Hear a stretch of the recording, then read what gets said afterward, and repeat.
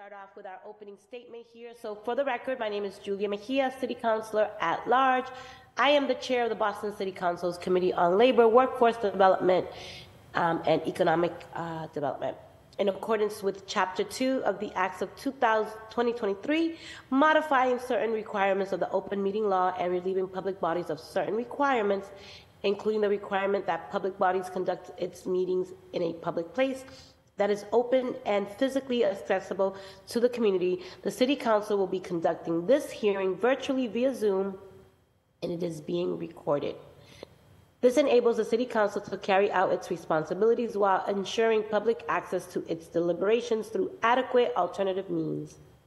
The public may also watch this hearing via live stream at www.boston.gov/city-council-tv and on Xfinity 8 and RCN 82 Fios 964. It will also be re-broadcasted um, at a later date. Written comments may be sent to the committee email at ccc.labor at boston.gov and will be made a part of the record and available to all counselors. Public testimony will be taken at the end of this hearing. If you wish to sign up for public testimony and have not done so yet, please email Ron Cobb at ron.cobb at boston.gov for the link, and your name will be added to the list. Today's hearing is on docket 0153, an order for a hearing regarding bi- the biannual review of the Boston Employment Commission and Boston Residents Jobs Policy. This matter was sponsored by Councillor Louijeune, Councillor Worrell, and Councillor Fernandes Anderson, and referred to my committee on January 11, 2023. I am joined here by my colleagues in the order of arrival. We have President Councillor Flynn um, from District 2, Councillor Liz Breadon representing District 9, uh, the lead sponsor, Councillor Louijeune at large, Councillor uh, Worrell representing District 4. And I believe we may also have Councillor Erin uh, Murphy at large. Not sure, but you're on here. I'm here, yep. You are, okay, great. It's just a little bit of a typo here. Here we go. All right, at large. And uh, we will call and acknowledge my other colleagues if and they uh, do arrive. So for the administration panel, we are joined by Jodi Sugerman um, Brozan, I believe is the Deputy Chief of Worker Empowerment. Um, uh, we believe that she will be joining us. Um, we have Chris Brown, who is the manager of the Boston Jobs um, Policy. Matthew Resseger, who is the Senior Economic, uh, economic uh, Economist, excuse me, for the Boston Planning Development Agency. And for our community panel, we are joined by the BEC Commissioner uh, Joe um, Cole, J.C. Burton, the chair and commissioner. Um, okay. And we are going to um, I am going to just, we do, we will be taking public testimony, but just to give you guys an overview, we're going to um, start off with opening remarks from our lead um, sponsors and uh, then go over to my colleagues. And I will keep my remarks short. So, with that all said, I am going to turn it over to Councillor Louijeune. You now have the floor.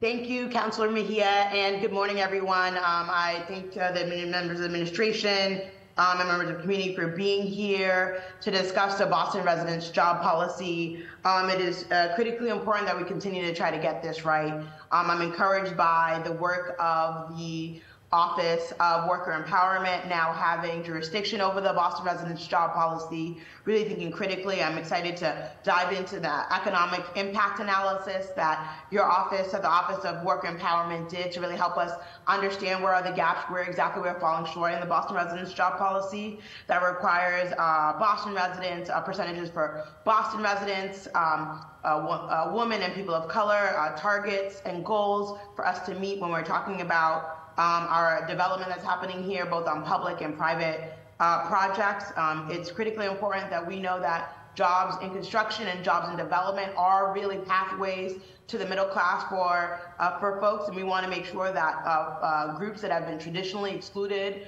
from these fields, we're talking about women, we're talking about people of color, are able to gain a foothold. And so I know we've heard uh, during while we've had these hearings, we've heard from Building Pathways and the incredible work that they're doing. We've heard from some union leaders in the works work that they do. It um, shout out to the both the plumbers and the sheet metal workers and Mia and Manny and the work that they're doing to really make sure that the trades are are open and inclusive, especially to our BPS students and our Boston residents. We still have a long way to go, but I do feel like there's at least progress being made in, uh, in identifying the problems and in thinking about solutions. So I look forward to the discussion today with my colleagues, members of administration, and I thank everyone for being here.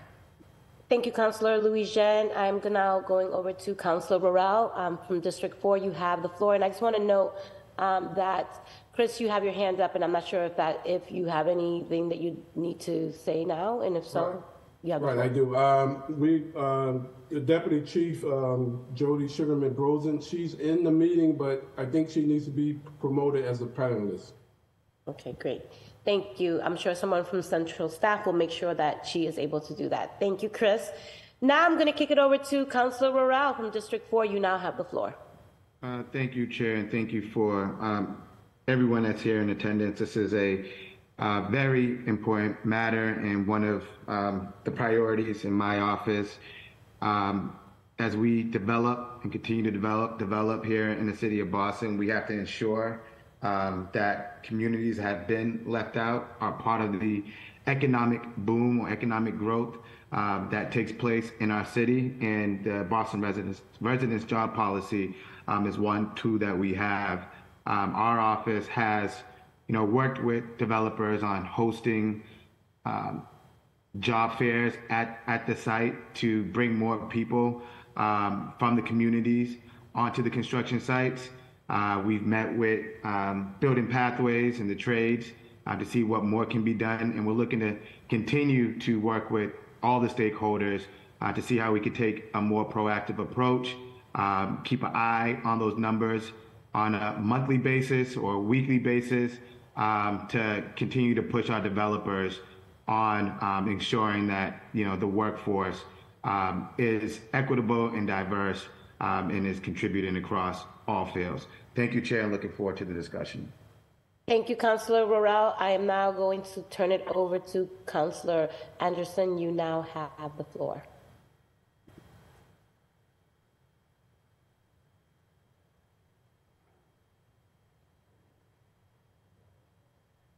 And three, two, one, Councillor Anderson, I'll come back to you. Um, I am now going to move over uh, in order of arrival. Um, we're going to start off with Councillor uh, President Flynn. You now have the floor, followed that, then by Councillor Breadon. Thank you, Madam Chair, and thank you to the sponsors and to the chair, to the administration officials that are here, but also to the public. This is one of the most important hearings of the year, and I especially love hearing from from the public. I know we're we're virtual, but um, your testimony is critical. It's important. I always like getting to these meetings early, so I'm able to talk to the public in person. But obviously, we can't we can't do that today. Um, this is an important ordinance designed to give greater employment opportunities to our residents of color and women in construction trades. I'd also like to acknowledge the Boston Building Trades, Brian Doherty, uh, for the incredible work that he's been doing in the building trades. Um, it's, it's important that we continue working together. Um, in 1986, Mayor Flynn and the City Council amended the ordinance establishing the Boston Employment Commission to enforce this policy. We have the policy on place, in place, but are we going to enforce it? That's the key. That's the key question. Um, and what has the city, city of Boston, what has the city council done over the last year in ensuring that policy has been in, implemented in, and enforced? That's what I'm looking to hear from today. What have we done specifically to um, to improve to improve this matter? Uh, thank you, Madam Chair. Thank you, President Flynn. I'm now going to uh, kick it over to Councillor Breadon. You now have the floor. Good morning. Thank you, Madam Chair, and thank you to everyone who's here this morning. Um, I'm really excited. I, I try not to miss this hearing every year when we do this review of progress on the Boston uh, resident jobs policy. Um, I think it's a crucial and really important uh, tool in the toolbox to ensure that um, the, all the that we have good paying union jobs in construction and that our women and communities of colour have access to those jobs. Um, in Allston Brighton, we're seeing a huge amount of uh, new construction, labs and residential buildings, etc.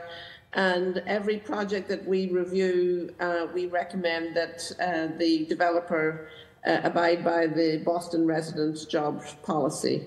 Uh, and the big question is, uh, do we have a pipeline with enough of those jobs and those people that are ready and able to take those opportunities? We're asking them to take these, and then they have this sort of lame excuse, oh, we can't, we can't find people who are residents, and and uh, and and then we see the neighbourhood filled with uh, trucks from New Hampshire and God knows where. So um, I really, this is an important issue for me personally in the neighbourhood uh, and across the, and the city. Uh, I think we're seeing a huge economic boom, a lot of development, and our neighbor, our neighbours who uh, uh, women and communities of colour should be able to get access to these jobs and build a good, strong middle class life and be able to afford to live in Boston. So I look forward to the conversation. I hope we're going to chart some progress. And uh, thank you, Madam Chair. Thank you to all for here. Thank you, Councillor Breadon. Really super excited to have you here with us. I am now going to uh, move on to Councillor at Large Murphy. You now have the floor. Thank you, Chair. Um, looking forward to this conversation. I know my colleagues said a lot of what um, I hope we get to today. I wish we didn't have to have these meetings every year. I wish that we were, um, you know, kids coming out of high school and young adults already felt that there were jobs out there for them and that, um, you know, that the opportunities were there. So looking forward to the conversation. And also it's important that city jobs should be going to city kids, but we have lots of hearings over the last couple years. And when we pass contracts, we talk about many of our city employees who have a residency expectation are some of our lowest paid employees in the city. So making sure that we're um, paying our workers fairly and also these great jobs that we see. Councilor Breadon mentioned it. I see it all across the city at job sites with New Hampshire pickup plates. Um, license plates on pickup trucks. So how do we make sure that kids see themselves, young adults, adults see themselves in these jobs? I think that's also part of the work that we have to do here on the council. So thank you for this hearing and looking forward to the conversation. Thank you, Councillor Murphy. Um, so I don't think I have any other colleagues here, so I'm just going to uh, open up with uh, brief remarks. I, I feel like I'm so incredibly blessed. I my daughter's home sick today, so um, this was a virtual hearing, but thank goodness it was because it allowed me to go pick her up and bring her home. So I am happy that this turned out the way that it did, and I know how important it is for us to also be in community. And Councilor Flynn, I really do appreciate you um, uplifting the, the importance of that human connection. So I just want to say it's a bittersweet moment for me because I get to be home and get my daughter here and also show up for work. So it's a blessing in disguise and it's all in how we choose to experience it. And so I'm really grateful that I had the flexibility to do that today. So I just want to thank the administration and BEC um, Commissioner for being here today. I'm also looking forward to going over updates from our last hearing and learning more about the work that the um, Boston, um, the BRJP has been doing to ensure the city of Boston is increasing its contracting opportunities for black and brown com and communities of color, women, and Boston residents. The last time we were here, and I think the many times we previously. I think I've been talking about this in 2020. I've been requesting a, a dashboard. Um, and I also have been asking specific questions around communication and how to how are we measuring and benchmarking success, right? Like I really want to lean in to a little bit more in that area. I'm really curious about the type of feedback, if any, that is provided to folks who um, have not managed to successfully uh, gain opportunities. So I, would love to dig in a little bit deeper there.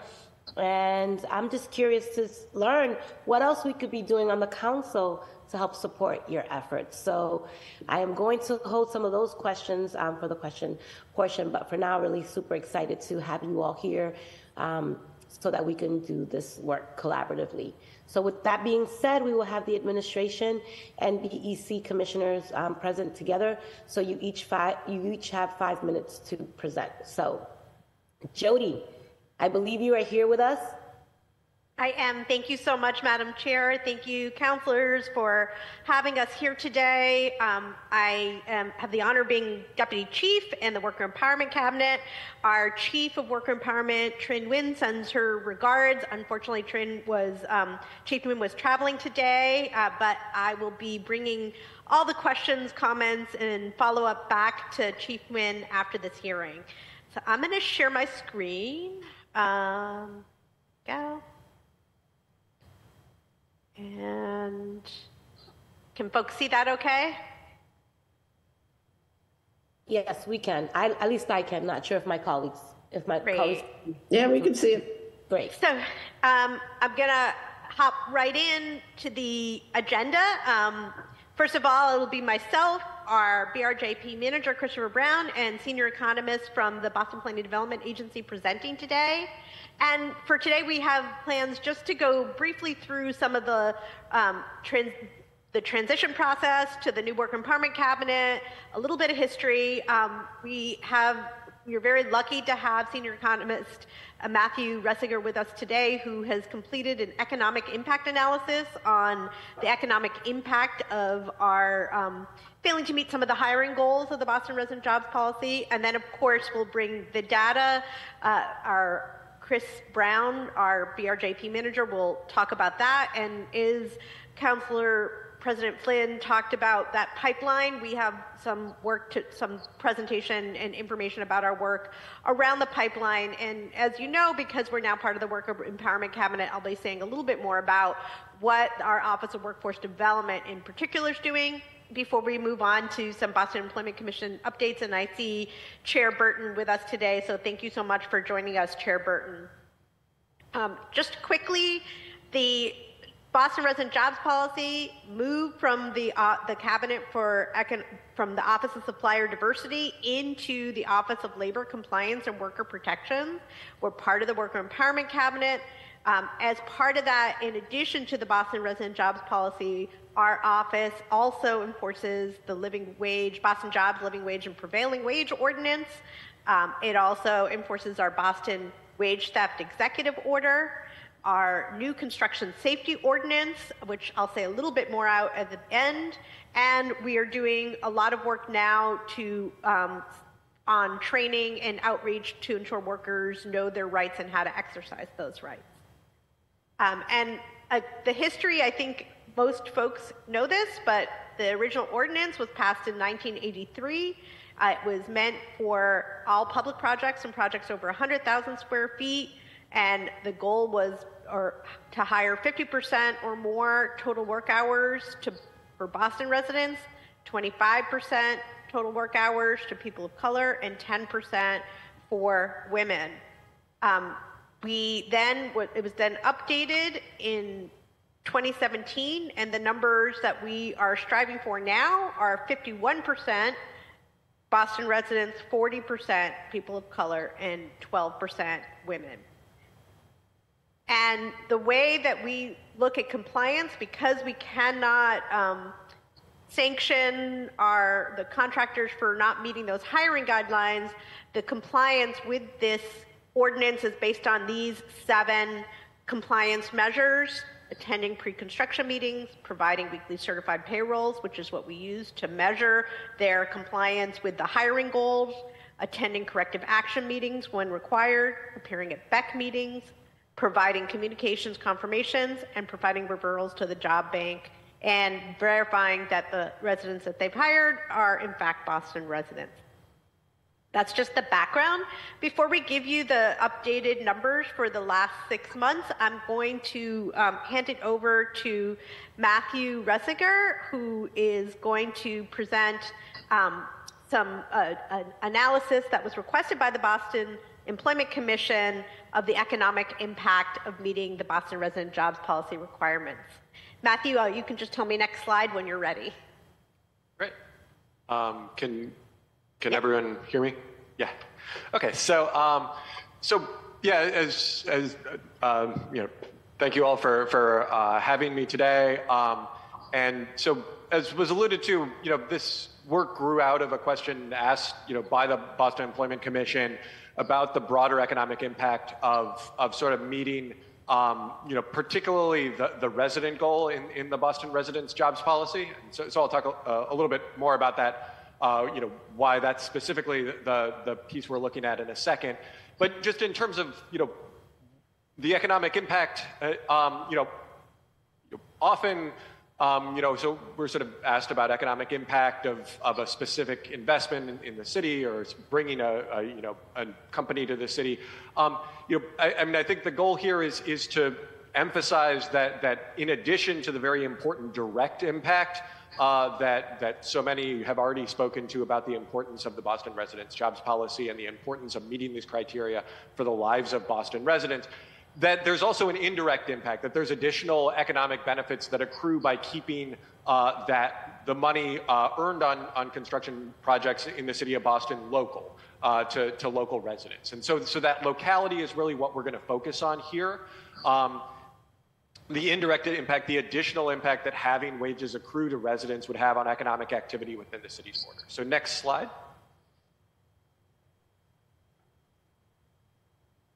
Uh, Next, next slide. Yeah, so um, I think, you know, Jodi already sort of showed the, the background uh, of, of the BRJP uh, and, um, you know, the, the current requirements that, that uh, you know, reflect the, the 2017 ordinance that 51% of total work hours of journey people and 51% of total work hours of apprentices in each trade must go to Boston residents, that 40% uh, of, of total work hours and uh, journey people and apprentices uh, go to people of color, and, and, and 12% of those work hours uh, be worked by, by women. So because our study is, is this geographic focus, we're gonna, we're gonna focus on that 51% requirement about Boston residency, about the importance of keeping uh, the, the earnings uh, earned on construction projects local. That isn't that, that that's in any way more important than the other two requirements, but, but this type of spatial analysis um, that, that we're gonna be doing is, is sort of um, you know, relies on, on, on data um, about, about how uh, money flows between geographic localities. And, and so that's where our focus for this analysis is going to be. Next slide.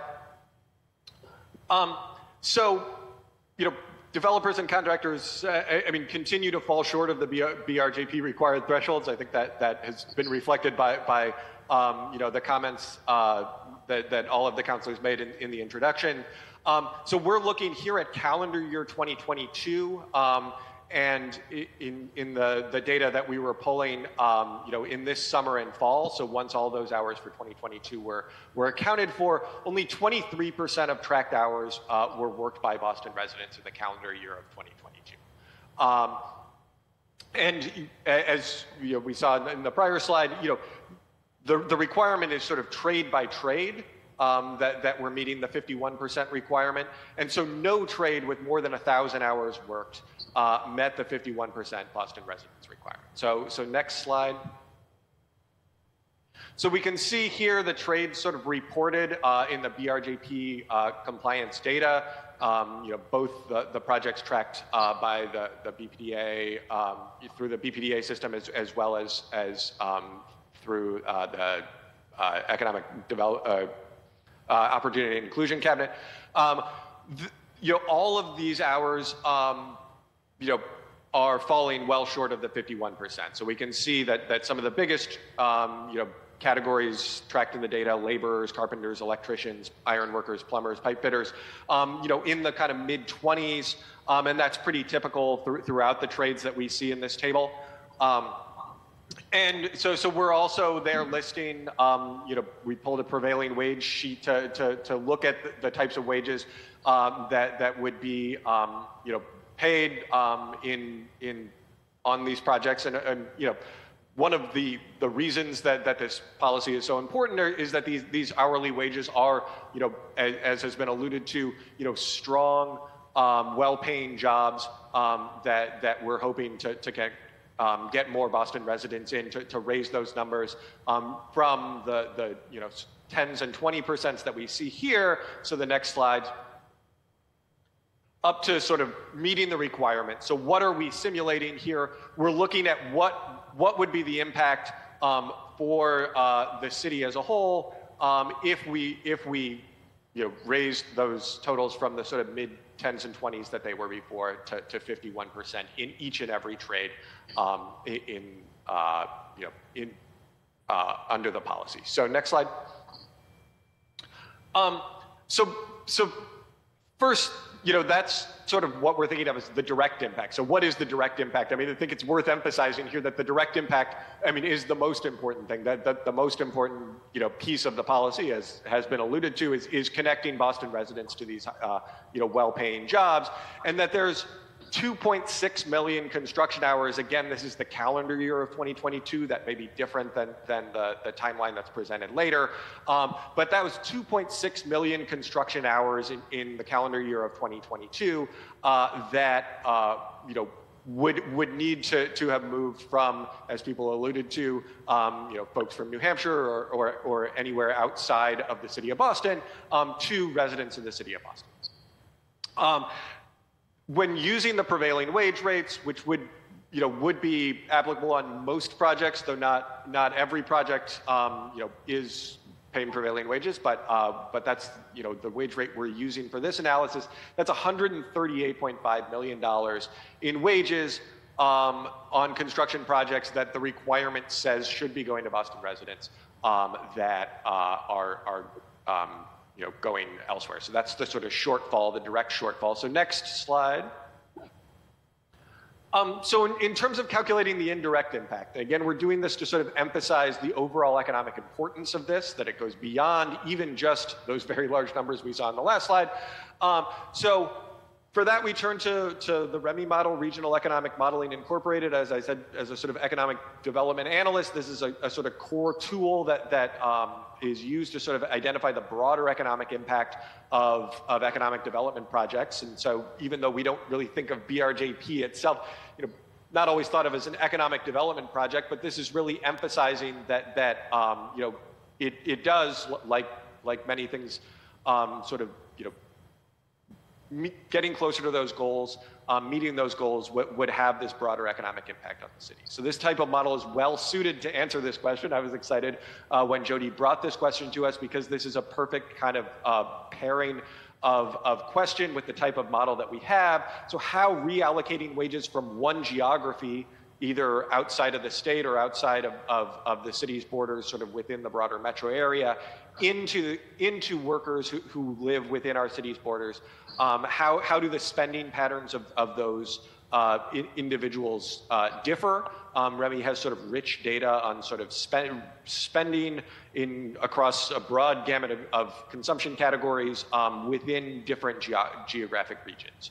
So if you think of, you know, sort of uh, the economic impact of, say, going and spending at Home Depot. I mean, they're they're they're separating out, you know, the amount of that that's um, you know spent on on sort of you know, local, the local retail component of that, what's going to paying the wages of, of people at Home Depot, um, but also that, that, you know, whatever you're buying there is, is likely imported from, from uh, you know, outside, not likely to be produced within the city of Boston.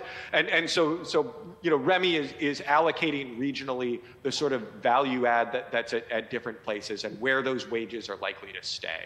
And so, um, you know, when we think about spending in the local area on things like restaurants, um, you know, things like personal care services, things that are have this large labor component where that person that your business where you're spending is a Boston resident, where the people who that business employs are Boston residents, you know, keeping that money local rather than having that money spent in New Hampshire or in other parts of the, the metro area um, is, is going to have an additional economic impact for our city. So uh, next slide. Um, and, so when thinking about measuring the, this economic impact, we want to think about where, where are the, the, these extra hours going to come from. Um, and, and so, you know, that, I mean, first of all, to, you know, emphasize, I, I mean, that is a, a, you know, significant um, challenge um, that, that I think you know many others on this call are, are many other, others in this meeting um, are, are going to attest to, to the ways in which um, we actually sort of make that happen. In the model, um, you know, it, it, it doesn't require that work to try and to try and figure out um, exactly how to get residents into the jobs. It requires understanding where those where those residents are likely to come from. Are they people who are already employed in other sectors um, in the local economy? Are these people coming from unemployment?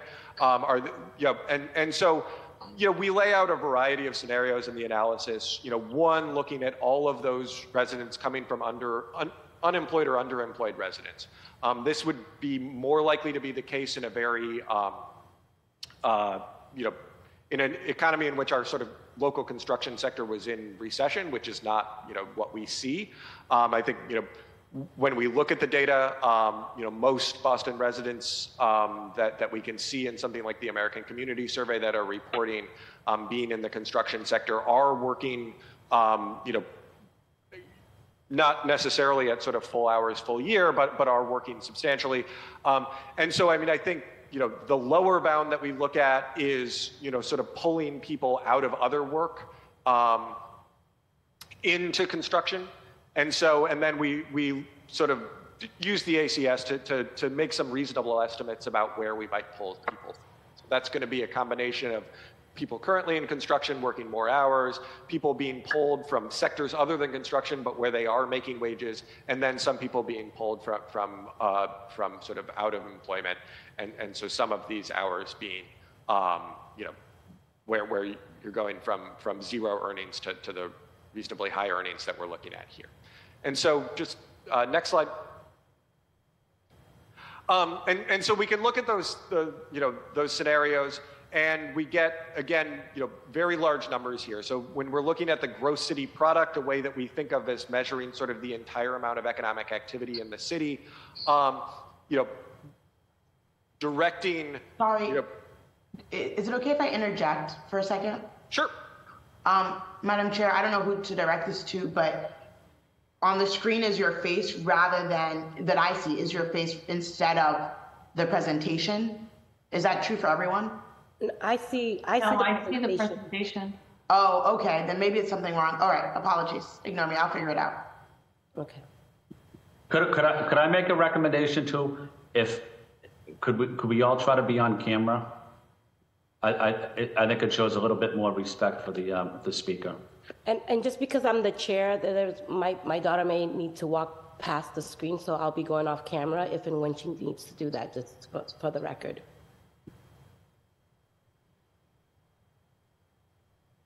Great. Um, so when when we look at, at the, the sort of scenarios, you know, we get impacts on gross city product again, the, the sort of entire economic activity in the city um, between 73.8 million and 102.9 million.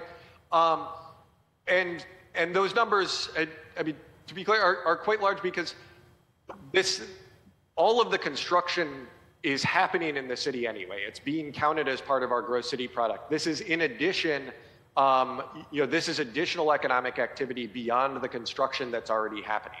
Um, so, so that's uh, things that are happening. Um, that's additional, again, restaurant spending. Um, in, some cases, per- perhaps, uh, you know, additional, um, some moderate amount of additional construction by, by the fact that the city's economy um, is sort of, you know, being made somewhat larger, but um, you know these are jobs. uh, Um, when we look at the indirect and induced jobs, adding between 555 and 774 uh, additional jobs. Again, that's beyond what we're already counting in the construction sector. Those are jobs that are going to folks um, that that reflect more uh, more money being retained uh, within the city of Boston. New resident income, um, Boston residents um, increasing their income. This does include um, the, the additional income going uh, to the, the new, the, the construction workers who are now residents, whereas they, they were not residents before. But again, between 155 and 216 million uh, dollars accruing uh, to Boston resident incomes that, that would not have otherwise uh, been, been going to Boston residents. And so, uh, next slide. Um, and yeah, so so this is just sort of re-emphasizing th- those findings from from uh, from scenario three there. So I think I'll skip to the last slide. Um, just just sort of concluding. And again, so because the building trades in Boston are, are highly paid and, and large gaps exist, sorry, uh, between uh, the observed hours uh, and BRJP targets, I mean, the economic impacts of, of meeting the requirement are large. And, and so, I mean, I think everyone at the beginning of the meeting emphasized, you know, the important, the central importance of this policy to, to what we're, you know, doing here um, as, folks uh, working for the city and, and, and folks, um, you know, uh, making decisions for the city. I, I, mean, I think we already knew this was important, but, but the economic impact analysis emphasizes a, a even you know another dimension of importance um, in terms of the overall economic impact of the city. The direct impact of these gaining opportunity work in construction is the largest impact and the most important impact, the impact folks here have been speaking to. But that indirect impact um, you know, additional 600 jobs on top of, of what we're talking about in, in terms of getting folks into construction, an additional $60 million in wages accruing to Boston residents. These are big numbers, and I think really emphasize the importance of the work uh, that, that so many here are, are, are doing and, and will continue to do. So, um, so thank, thank you, um, Madam Chair, and, and, and uh, to the rest of the council, and, and uh, thank you for having me. Chris? Madam Chair, would you like us to move on, or um, Yeah. are there questions for um, Matthew before we move on to the rest of the presentation? Let's move on to the rest of the presentation, and then we could do one round of questions for all of your um, Great. panelists. So I'm going to pass it on to BRJP Manager Chris Brown to go through the recent data for the Boston Resident Jobs Policy compliance. Uh, good morning, Council. Uh, thanks, Jodi. It's a, a, hard act to follow with, with Matthew, but I, I give it a shot. Uh, so we're looking at the, uh, the breakdown from the last six months, the data. So we had 90 total active projects, um, and this data is from April 1st of 23 to September 30th of, of 23. Uh, total of 90 active projects. 23 of those projects are what we call DIPs, developmental impacted projects. Those are private projects, projects that are over 100,000 square feet. Those are the downtown projects, and a lot of projects that, that are in the Seaport area. Uh, we have 67 City of Boston projects. So the City of Boston projects are in some way uh, either entirely or or portion, you know, a portion of the project was funded via city funds. So 67 city, city of Boston projects, 17 from the Public Facilities Department, 16 from the Parks and Recreation Department, 15 from Public Works, and 19 from the Mayor's Office of Housing. So uh, the private project breakdown, uh, we, you know, it's, ever since this program was established, we've always had uh, more hours from the private projects just because of the size of the projects, right? The, the skyscrapers, so to speak. So we had 1,538,000 um, hours from the private projects, and there's 22% Boston resident, 36% people of color, and 8% women. The public projects, again, those are the projects that are funded in some way from city funds. So 6,011 hours and 23% Boston resident, 42% people of color, and 6% women. So when you add them together, the private and the public projects, adds up to be 2,149,000 hours and a combined percentage of 22% Boston resident, 38% people of color, and 7% women. Next slide, please. And so what you're looking at now, you're looking at the breakdown uh, by neighborhood. Uh, Allston Brighton is at, at, the top, well, not necessarily in the order of projects, but it's in alphabetical order. So Allston Brighton, you can see they had 11 projects. I'm not going to go through every one of them, but uh, Dorchester, the biggest neighborhood, uh, 15 projects, Roxbury 16, Roslindale 2. Uh, the last category, at various locations, sometimes you have projects, most likely they're like road, public works projects. You might have uh, a contract that, you know, they're performing work on uh, some streets that are in different neighborhoods. They might have streets in Roxbury and streets in Dorchester. So uh, in a situation like that, those type of projects would fall in the various locations um, category. Next slide, please. All right, so what you're looking at now is all the city departments. We have four city line departments. And so again, 67 public active projects. Uh, the Mayor's Office of Housing, it had 300,000 hours. Uh, 23% Boston resident, 49% people of color, and 5% women. Parks Department, those are, you know, all the city parks, swing sets, basketball courts. Uh, usually a small department, about eight projects per year, eight to 10 projects a year. Uh, 11,000 hours, uh, 17% Boston resident, 20% people of color, 3% women.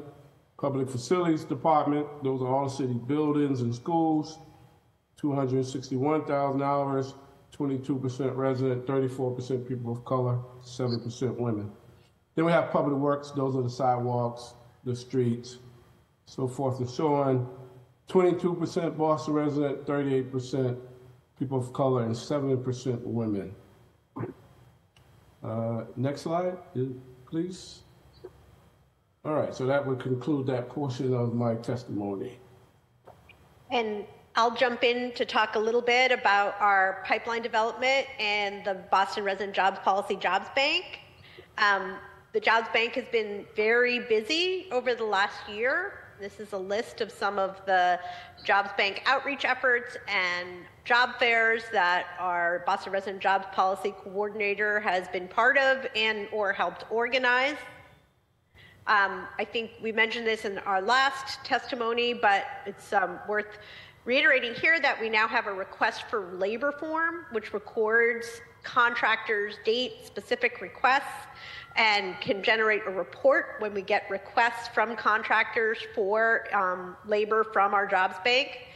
We have a jobs bank roundtable, which meets monthly with community partners to um, talk about how to promote hiring, informational information, uh, inform, hiring information and apprenticeship opportunities, and an extensive email database of contacts and community resources. Um, we also have a QR code and email. This is all on our website as well. And um, all of this is sent to a Google form, which we can track and is date stamped. And I wanted to add that we also, now that the Boston Resident Jobs Policy Program is part of the Work Empowerment Cabinet, it's worth highlighting some of the Office of Workforce Development programs specifically designed to build the pipeline to construction. The Neighborhood Jobs Trust is um, something that many already know about, but there is a request for proposals for innovative training models that is due on November 17th. Um, the website, the link to the website is here, and I will be sharing this, this slide deck, of course. Um, but Please spread the word that we are looking for partners through the Neighborhood Jobs Trust. We also have a grant that we received um, um, to create the Greater Boston Equitable Apprenticeship Pathways. And the point of this grant was to connect Boston residents to pre apprenticeship opportunities over the four year grant period. And one of the areas in which we are focusing is in construction, and our partner in that effort is Youth Build. And finally, it's going to be National Apprenticeship Week coming up in mid November. The Office of Workforce Development is holding a, a, an Apprenticeship Week event at the Codman Square branch of the library on Wednesday the 15th, and I'll be happy to share more information. And just yesterday, and um, we will met with staff from Youth Opportunities Unlimited, which is working on developing a construction track with support from BRJP and others as part of their their efforts to um, provide opportunities to their cohorts. And I'm going to, before I hand it um, over to Commissioner Burton, I, Chris was uh, going to give just a little bit of information about a new payroll scan, which we are providing the Boston Employment Commission each month as part of our efforts to improve compliance and um, identify noncompliance. Chris? Absolutely. Thank, thanks, Jodi. So one of the uh, most important, I believe, is probably the most important um, effort. There's seven efforts, com- compliance efforts, uh, but the most important one is the submission of payrolls. Everything else is pretty much based off the submission of, of payrolls. You know, if we don't get payrolls in a timely manner, or if the payrolls are not submitted, it, it's hard to kind of quantify all the other efforts. So we, we've started um, uh, running uh, what we call a monthly payroll scan. We started it in August. So we did it for August and we did it for um, September, just to try to get a baseline of how payrolls are coming in and the timeliness of it. Um, so these scans will give the Boston Employment Commission a clearer picture of all payroll-related noncompliance beyond those that come before the back for a special presentation or project review. So we have the Boston Employment Commission meeting every month. So on average, every year, they see maybe 40 of the projects that we have department-wide, uh, when we really have, give or take, every year about 200 projects year, you know, um, year, year round. Um, some are small, some are large. Uh, contractors have up to seven business days after the week ending date to submit payrolls in order for them to be considered on time. And as stated previously, there's seven compliance efforts. The submission of the payroll is one of them, and there's six other efforts that Jodi previously mentioned. Uh, next slide, please. All right, so this is the monthly payroll scan for September. Uh, so of all the projects that we have, we had 3,395 total payrolls submitted for the month of September. Uh, 10% of those uh, payrolls uh, ended up being considered late. That would be 324 of those payrolls. And again, they're late after seven business days. And then we have a breakdown uh, of the 10% of the late payroll. 67% of them were uh, less than five days late. 25% of those payrolls were five to 10 days late. 8% of those payrolls were greater than 10 days. And the latest payroll uh, was 19 days late. Um, the payroll scan does not include contractors that may have worked on site but never reported or submitted payroll, if any. Site visits are the, more ac- the most accurate way to catch contractors on site that have not submitted weekly payrolls. So we do site, we perform site visits. On occasion, we do run into to contractors that for some reason haven't submitted uh, it doesn't happen often, uh, and when we do run into those contractors, usually they're like maybe a curb cutting, you know, a contractor that's out there for the day or for the week. Uh, uh but okay, so uh, next slide. All right, so we did a comparison. Again, we started the scan in August, and um, so we performed for August and September. So you see the comparison. Uh, in August, there were 2,948 payrolls submitted. September, 3,395. Uh, in August, when you look at late payrolls submitted, 16% uh, of those payrolls was late, as opposed to September, 10% uh, of those payrolls uh, ended up being late. Don't know why. Maybe it's because we started this payroll scan, not sure. Uh, but, and so, and the latest payroll again for August was 27 days. That's the latest that any payroll was submitted in August, and in September it ended up being 19 days. Uh, next slide, please. All right, fines for sanctionable uh, violations can be up to $300 a day and are, are assessed to the general contractor. Staff's working on a process to determine when to recommend sanctions and fines in a consistent and transparent manner that takes into factors into account factors defined by the Boston Port Commission sanctions policy. One, size of business of the general contractor. Two, numbers of staff persons employed by the business. Three, any previous complaints or notices of noncompliance issued by the commission. Four additional factors may be included in final decisions made by the commission prior to the issuance of a sanction. And then we have all the additional factors being considered as well. I'm not going to read every one of them, but they are on this um, slide. So that would conclude this portion of my testimony. Thank you, Chris.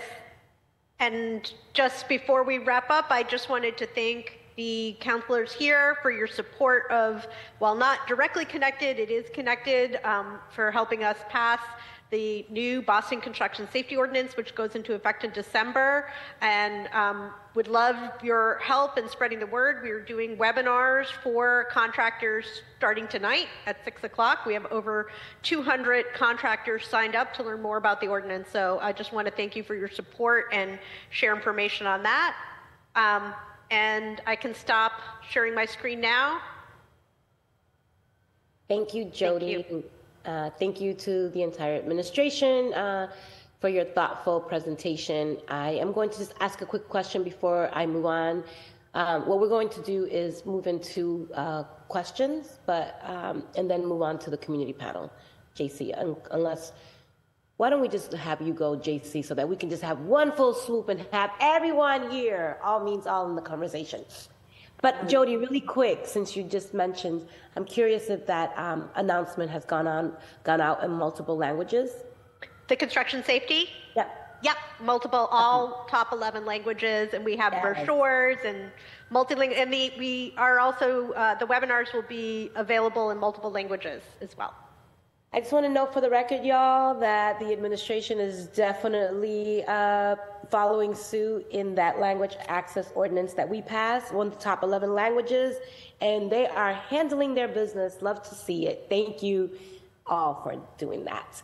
All right, then, um, JC, I'm going to go straight to you so that we can all have one conversation and make this more of a dialogue. I think what happens here in the city council is that people come in for a hearing and everyone feels like they're on trial.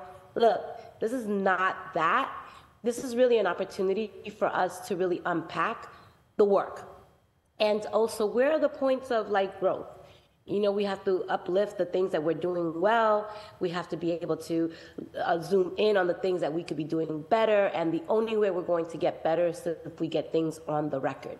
So, for those who are paying attention and tuning in, know that this is not a trial. This is definitely an opportunity for us to listen and learn, and more importantly, as colleagues, be able to work together so that our residents um, see that we are doing the people's business here. So, JC, I'm going to kick it over to you. Thank you. Good morning, everybody. Council Committee on Labor, Workforce, and Economic Development, and the Chair Mejia, as well as sponsors of. We're all so glad to be with you today, as well as other council members. It's the first time we've actually had such a large, a packed house, and so I'm excited to to give you some thoughts of what we see uh, as working on the Boston Employment Commission. I, I want you to know that I have 28 years of construction experience. I represent this commission of five people. It's three men and two women. There are people of color, but all of us have direct or indirect construction experience. I have the great honor to serve the committee and the commission to shepherd construction jobs of the citizens of Boston, people of color and women, as well as hold those accountable that fail to meet compliance requirements. Today, I'd like to report on three themes that summarize the past six months. One says that one is data utilization, two, contractor compliance, and three, innovation, innovative trends that will certainly drive the future. First, data utilization. In the summary of what was presented today is requested by the Boston Employment Commission. We have also requested other data touch points that we know the uh, city staff will be reporting on in the near future. But what we want to hone in today, as I know we heard earlier, but only 23% of the hours are staffed by women, the men and women residing in the city of Boston, which means 77% of those hours are being worked by people that reside outside of the city of Boston. And there are no other words to describe it other than this tremendous failure on our citizens. This is a collective effort of our contractors, by which I'm part of the community, our subcontractors, trade contractors, organized labor union partners that deliver projects to our city. In other words, only less than three out of 10 tradesmen and women, three out of 10 on a project reside in the city. This data, unfortunately, is no different than a decade ago, or a decade before that, or a decade before that. The construction industry com, um, employs, or employs the most sophisticated tools that, that we have that are being developed here right in the city of Boston. We utilize drones. We, we are testing utilization of robots in hazardous construction conditions.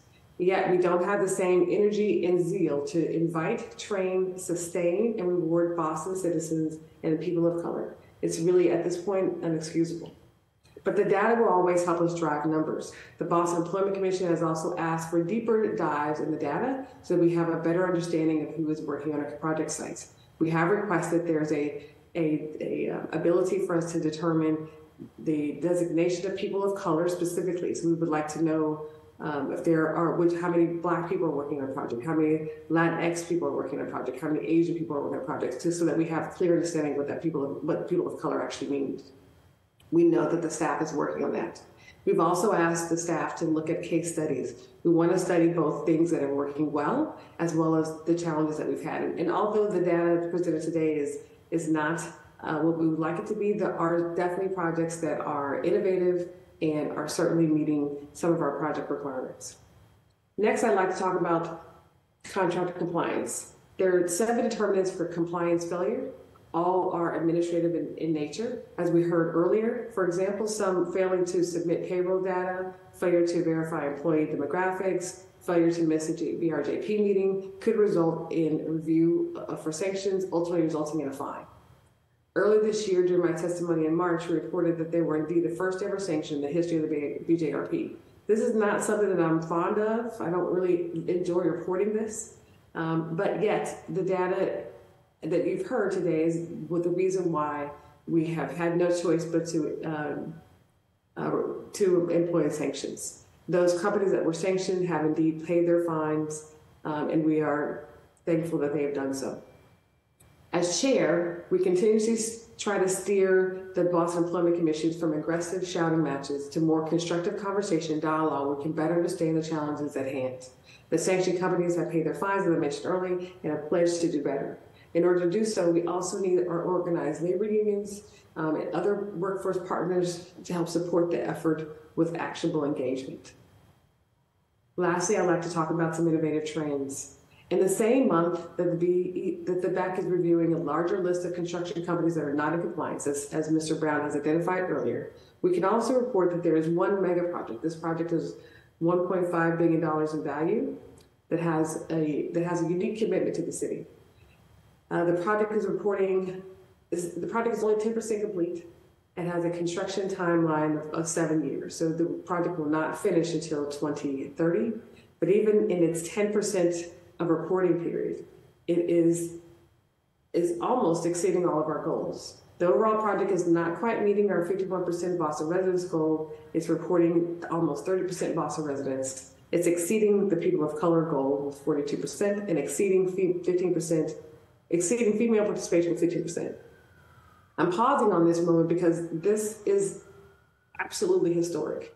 When we start projects, most of the contractors and trade contractors involved are utility in nature, the construction or demolition in nature, and usually have the lowest number of participation by people of color and women and Boston residents. Typically, these numbers report, uh, on average, uh, a fraction of what we're seeing here.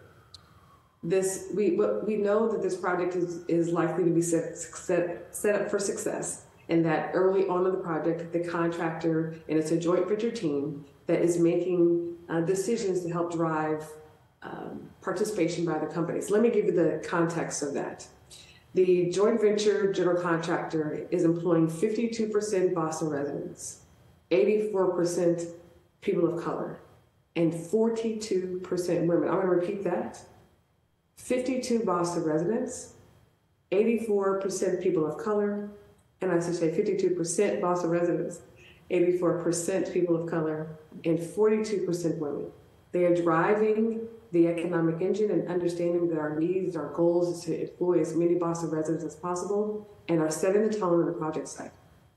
We know that this is a single project snapshot of success that have resulted in a passionate pleas from commissioners, staff, all the councilors that are here today, a host of concerned citizens that have been helping to provide out of the box thinking on how to engage the Boston residents and people of color and women.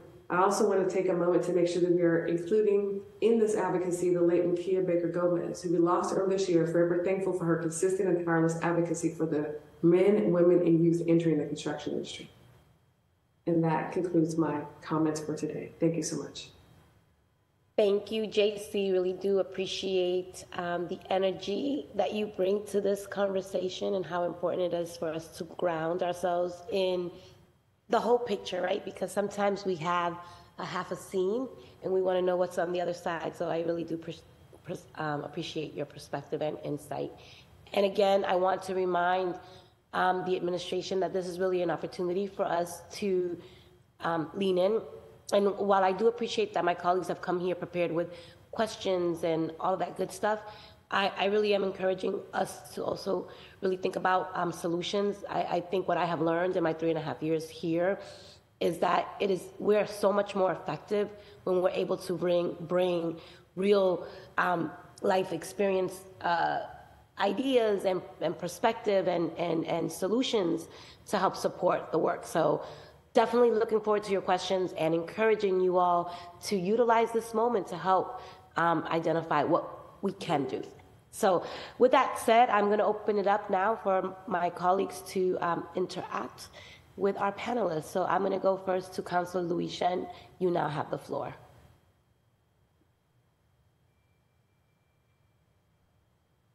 Uh, you're on mute, um, Councillor Louijeune. Just wanted to let you know that. Sorry, Ricky mistake. Um, I just want to thank everyone again. I think um, this presentation for me um, was incredible because it was really data driven and it was giving really concrete examples. So I want to thank uh, uh, Matt, uh, Director Brown, uh, uh, Director Sugerman uh, Brozan, Chair Burton. I thought it was incredible. Going to start my questions with you, Matt. Um, again, I think that I'm really grateful that the Office of Worker, it was the Office of Worker Empowerment that asked for this research. Is that I think that this was incredible because it is data driven and it shows um, what some of the gaps, um, what some of the gaps are. Um, I, I, my first question is, I don't know if I caught it, but why was it? Why is the data that you looked at Boston specific? Is it because that's what um, Jodi you had asked for? Um, why is it not also the other metrics that are important to us? You know, people of color and gender. I'm wondering why we didn't why we didn't do that, or, or and if there's a vision for us to do that breakdown as well. Yeah, I mean, I think the request for the analysis, I mean, was really focused on that the sort of indirect impact and, and sort of um, the that type of economic impact analysis that asks about sort of retaining um, dollars sort of within a geographic space. I mean, there's also, I mean, an analog concept that, that's often discussed about, you know, retaining uh, money sort of within the black community or retaining yeah. money, you know, within Roxbury.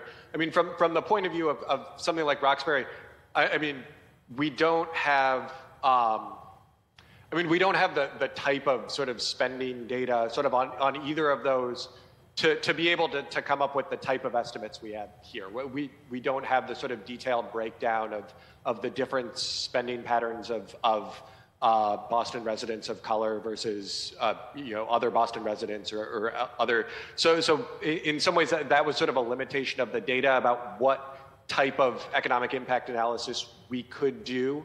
Um, so for those other, you know, for the other, for, for uh, the people of color and, and, and women, I mean, I think we could include the direct impact in this analysis. I mean, that's also, I mean, you know, I think what, what, you know, Chris showed, uh, uh um, you know, is, is the sort of tracking of those, those gaps. Um, I mean, I think is, is something that, that I think, you know, on a sort of consistent basis, you know, producing all of those numbers. I mean, I think in, in this, yeah, I mean, that was really just a data limitation for why that was the focus of the, the sort of indirect impact analysis here. But, but yeah, I fully acknowledge that, that all, all three of the requirements are, are sort of, you know, of, of equal importance. Yeah. And I wonder if you could do an impact analysis that's not like maybe you take it out of the frame from doing like an economic impact, which like cents and dollars, but it is one that's like looking at like racial impact or gender. You know, I think there may be another way to construct. I think you went on. Councillor Louijeune, you went on mute again. Oh, sorry. I think this is an incredible analysis. Like I think it shows us in dollars what we're missing out on. But I think that there are ways to envision, like, you know, you give us something and now I'm asking for more, right? But I think there are different ways for us to do it along. Um, and, I, and I'll leave that to you, and I think that you probably can think about how we do a, a similar analysis, even though it's not, it doesn't have to be in economics, but um, based on, on race and gender. So I'd love I'd love to see that further. Um, and then I have two other questions, Matt. Um, did you look at did you look at any sort of sort of further data disaggregation, or could you look at, and could I'm not asking you to I'm saying is it possible to look at further data disaggregation based on public and private projects? Um, yeah, no, I mean that's available. Um, yeah, I, I, mean certainly that that's available in, in, the data as as to you know whether the gaps are bigger on the public and, and private projects. Uh, um, yeah, no, I mean, we could incorporate that into this analysis as, as well. Yeah. And then also, are you able to do it for projects that are union versus non-union? Um, I mean, I think, I, I think the, I mean, I think yes, but but I, I, mean, I think there's some question about some of the the data that we were drawing on from older. I, I mean, I, I think the the completeness of that field may be, may be sort of improving over time. So some of the older data, uh, yeah, I mean, I, I, think going forward, I, I think that the um, the data for that is is is stronger. Um, but yeah, we, we, we can, you know, that that was something we looked at in, in this, and and and and I think you know can can think about incorporating more as we as we go forward. Okay, and then and then I have a, a, a follow up question for you, Matt, regarding just like the overall analysis that you did, um, and you know you, you do the research, so you're not necessarily the one coming up with sort of solution policy solutions or ideas, but you do have some um, some takeaways, and you mentioned them here, and they're in this report. So I'm wondering if you could sort of further underline what you think, um, or if this could also be you, Jodi. What are some of the like concrete solutions that we're thinking about when we see this this which i think is like a jarring number of 23% when we have a goal of 51% you know we always throw madison park into the conversation. Um, we you know but just wondering like what are the we did this and this is incredible. This is an incredible economic impact analysis of showing like what we as a city of boston are losing. Um, what are some of the concrete ways that that we're that we can correct? Yeah I mean, I'll, I'll probably pass some of that off to Jodi, um, but but yeah, no, I, I, mean, I think you know the the analysis sort of emphasizes the importance of closing the gaps. It isn't. It doesn't speak as as directly to, to what we might sort of do about that, and so so I, I think you know, you know some of the other. I mean, I think I Jodi might be able to cover a little bit better that, that side of the question. So I think that's kind of, you know, the analysis is really about emphasizing the importance and sort of, you know, then focusing on that question of, of, of what it is that, that we can do about it. I'm going to let jo uh, Jodi answer that question, and then I just want to note for the record that your timer has gone off, Councillor Louijeune, so I can bring you back for round two so we can allow our colleagues to go through the first round, okay? Jodi, if you don't mind. Sure. Yeah, I think um, it's really one of the first big strategies is moving the Boston Resident Jobs Policy into the Office of Worker Empowerment, which also includes the Office of Workforce Development, to really be intentional about creating those pathways for construction jobs. And um, I'll say that we're in a very unique place right now, which um, we recognize, and that is there's millions of dollars being invested into the transition to a clean energy economy. And we are taking that very seriously. Um, we are launching a new workforce needs assessment, which is going to identify where those jobs are, what the um, pathways to those jobs, the upskilling that is needed to get people into these jobs. And our office is doing that analysis specifically so we can develop those um, interventions to ensure that Boston residents and people of color in Boston who've been historically um, more impacted by the environmental injustice of, of the climate change um, and to ensure that there's a pathways to those jobs. So I think that big picture, connecting Boston resident jobs policy into the larger strategies, um, and then on a smaller scale, as you said, we, are really trying to increase what we're doing in terms of compliance. And um, even though we can't, um, we can't sanction folks for not meeting those guidelines, we can sanction them for not meeting the administrative guidelines that we have laid out. And we have started that process, and we are trying to do it in a very thoughtful and intentional way and collect data in a way that allows us to point towards where those trends are so we can be strategic about it. And I really want to commend the, the staff of the Boston Resident Jobs Policy for their really thoughtful approach, and um, Chris in particular around the payroll scan, which is just giving us more information around how we can be doing that. And I think one of the other things is as we find folks, we want to make sure that the funds that are coming in as a result of those fines, we find ways to target that directly towards building those pipelines. And I hope that that answers. I think, you know, we have a lot more to do, and there's so much more we can and should be doing. Um, but we have a unique opportunity with the Green New Deal to, to really ensure that we're doing it in a way that builds pathways for Boston residents. Thank you, Jodi. Um, and thank you, Councilor Louijeune. I'll come back to you for round two. If you don't mind, we're going to keep moving. So I'm going to go next to Councilor Worrell from District 4. You now have the floor. Uh, thank you, Chair, and thank you to the administration. Um, very important, informative, data-driven um, presentation that was um, eye-opening. Um, I know we always talk about the economic impact, but to see that it's actually $60 million in wages and 600 jobs, um, you know, just eye-opening and you know, pretty stunning. I, I, I have a question on, this is for you, Chris, on um, slide, I think it was 25. Um, it, it, it broke down um, the active projects by department um, for the city of Boston. I was wondering if we could do the same for private, right? If we could break that down on the private side to see what, um, how, how each company, right? Because if we could do it by like the mayor's office of housing um, has 25%, Boston res, well, whatever, whatever the numbers was, if we could do that by um, for the private side. Um, absolutely. Um, I think for the private projects, um, uh, most of those it, it, it, should be fairly easy. Um, I can um, I can run it by the um, the IT um, administrator that we have, but most of the private projects are well, all of them are over 100,000 square feet. Uh, they're all the, the private projects, so it should be fairly easy to come up with um, your request. Awesome, and, and, I would love that information. And, and you know, um, it'll be company, and then you know the, the the, three categories that you have listed out: uh, residency, women, and then people of color hours. Absolutely. All right. Um, in Duke, uh, Chair, can I make that request through you to, to request from the administration? Yes, please. Awesome. Noted.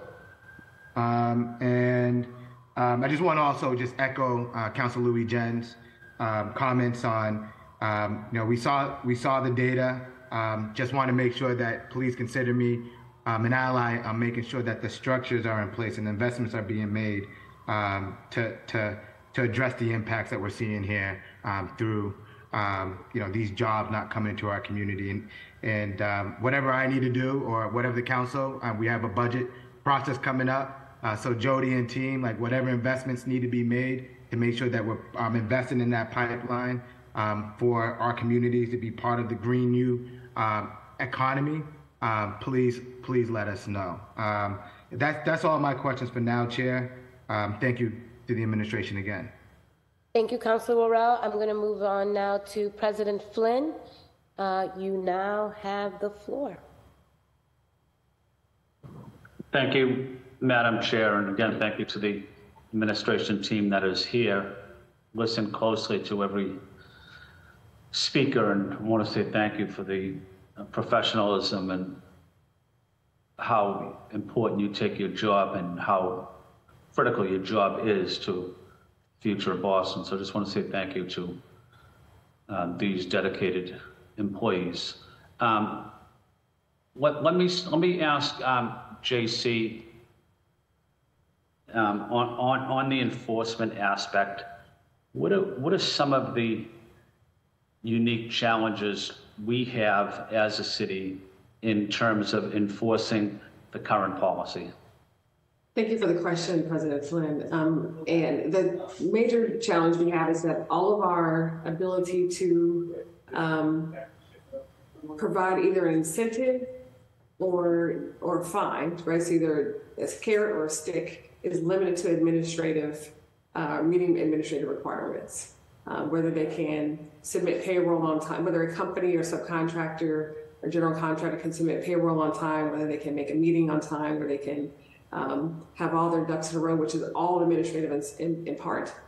Um, and it leaves out the smaller contractors that are here in the city um, because they don't have the administrative kind of wraparound support that they need to participate in this. Also, we don't have the ability to provide any type of penalty uh, or, incent- or incentivize contractors that are not meeting the Boston residents numbers or the people of color or women.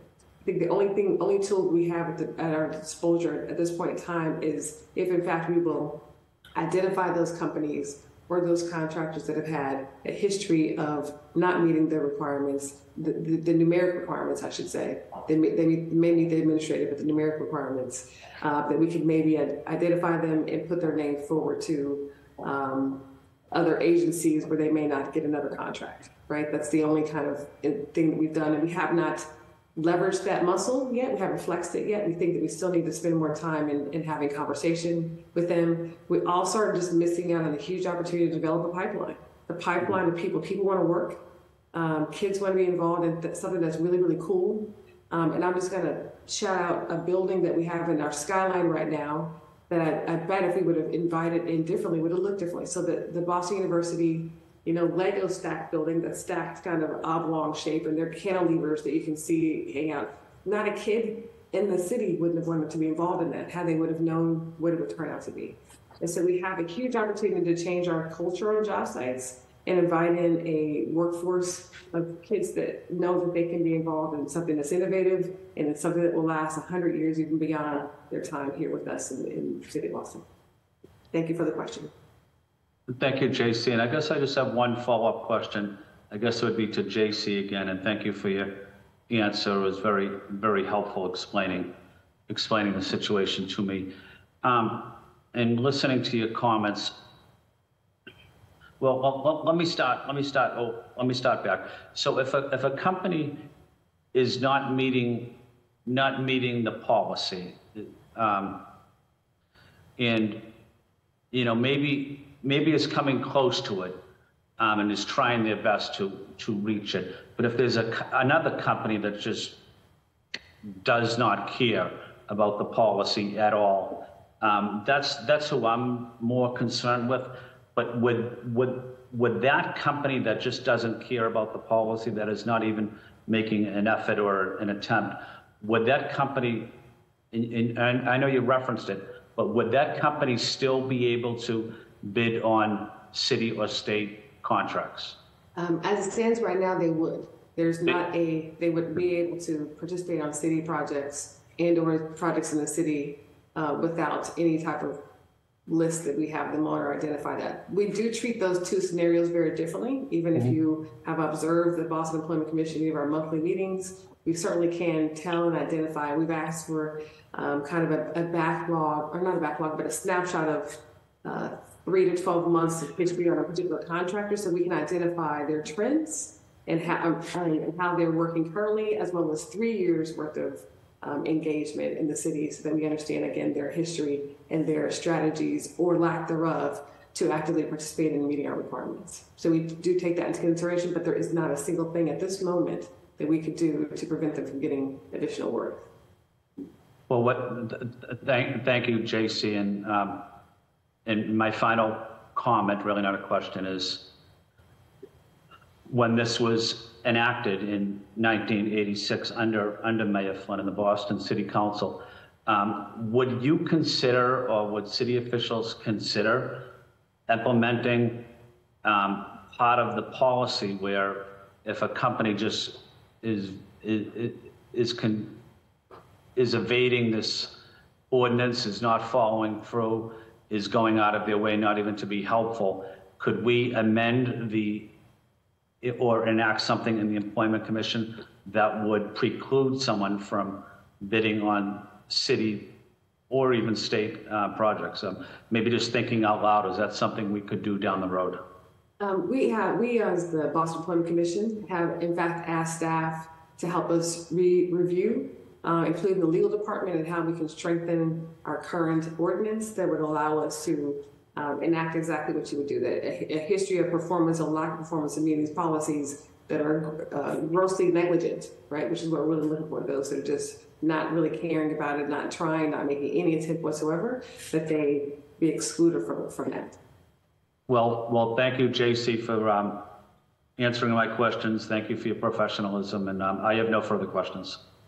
Thank you, President Flynn. Um, and I just want to note that our office has been in communication and in partnership um, with the uh, commission, in fact, to uh, work on revising and updating.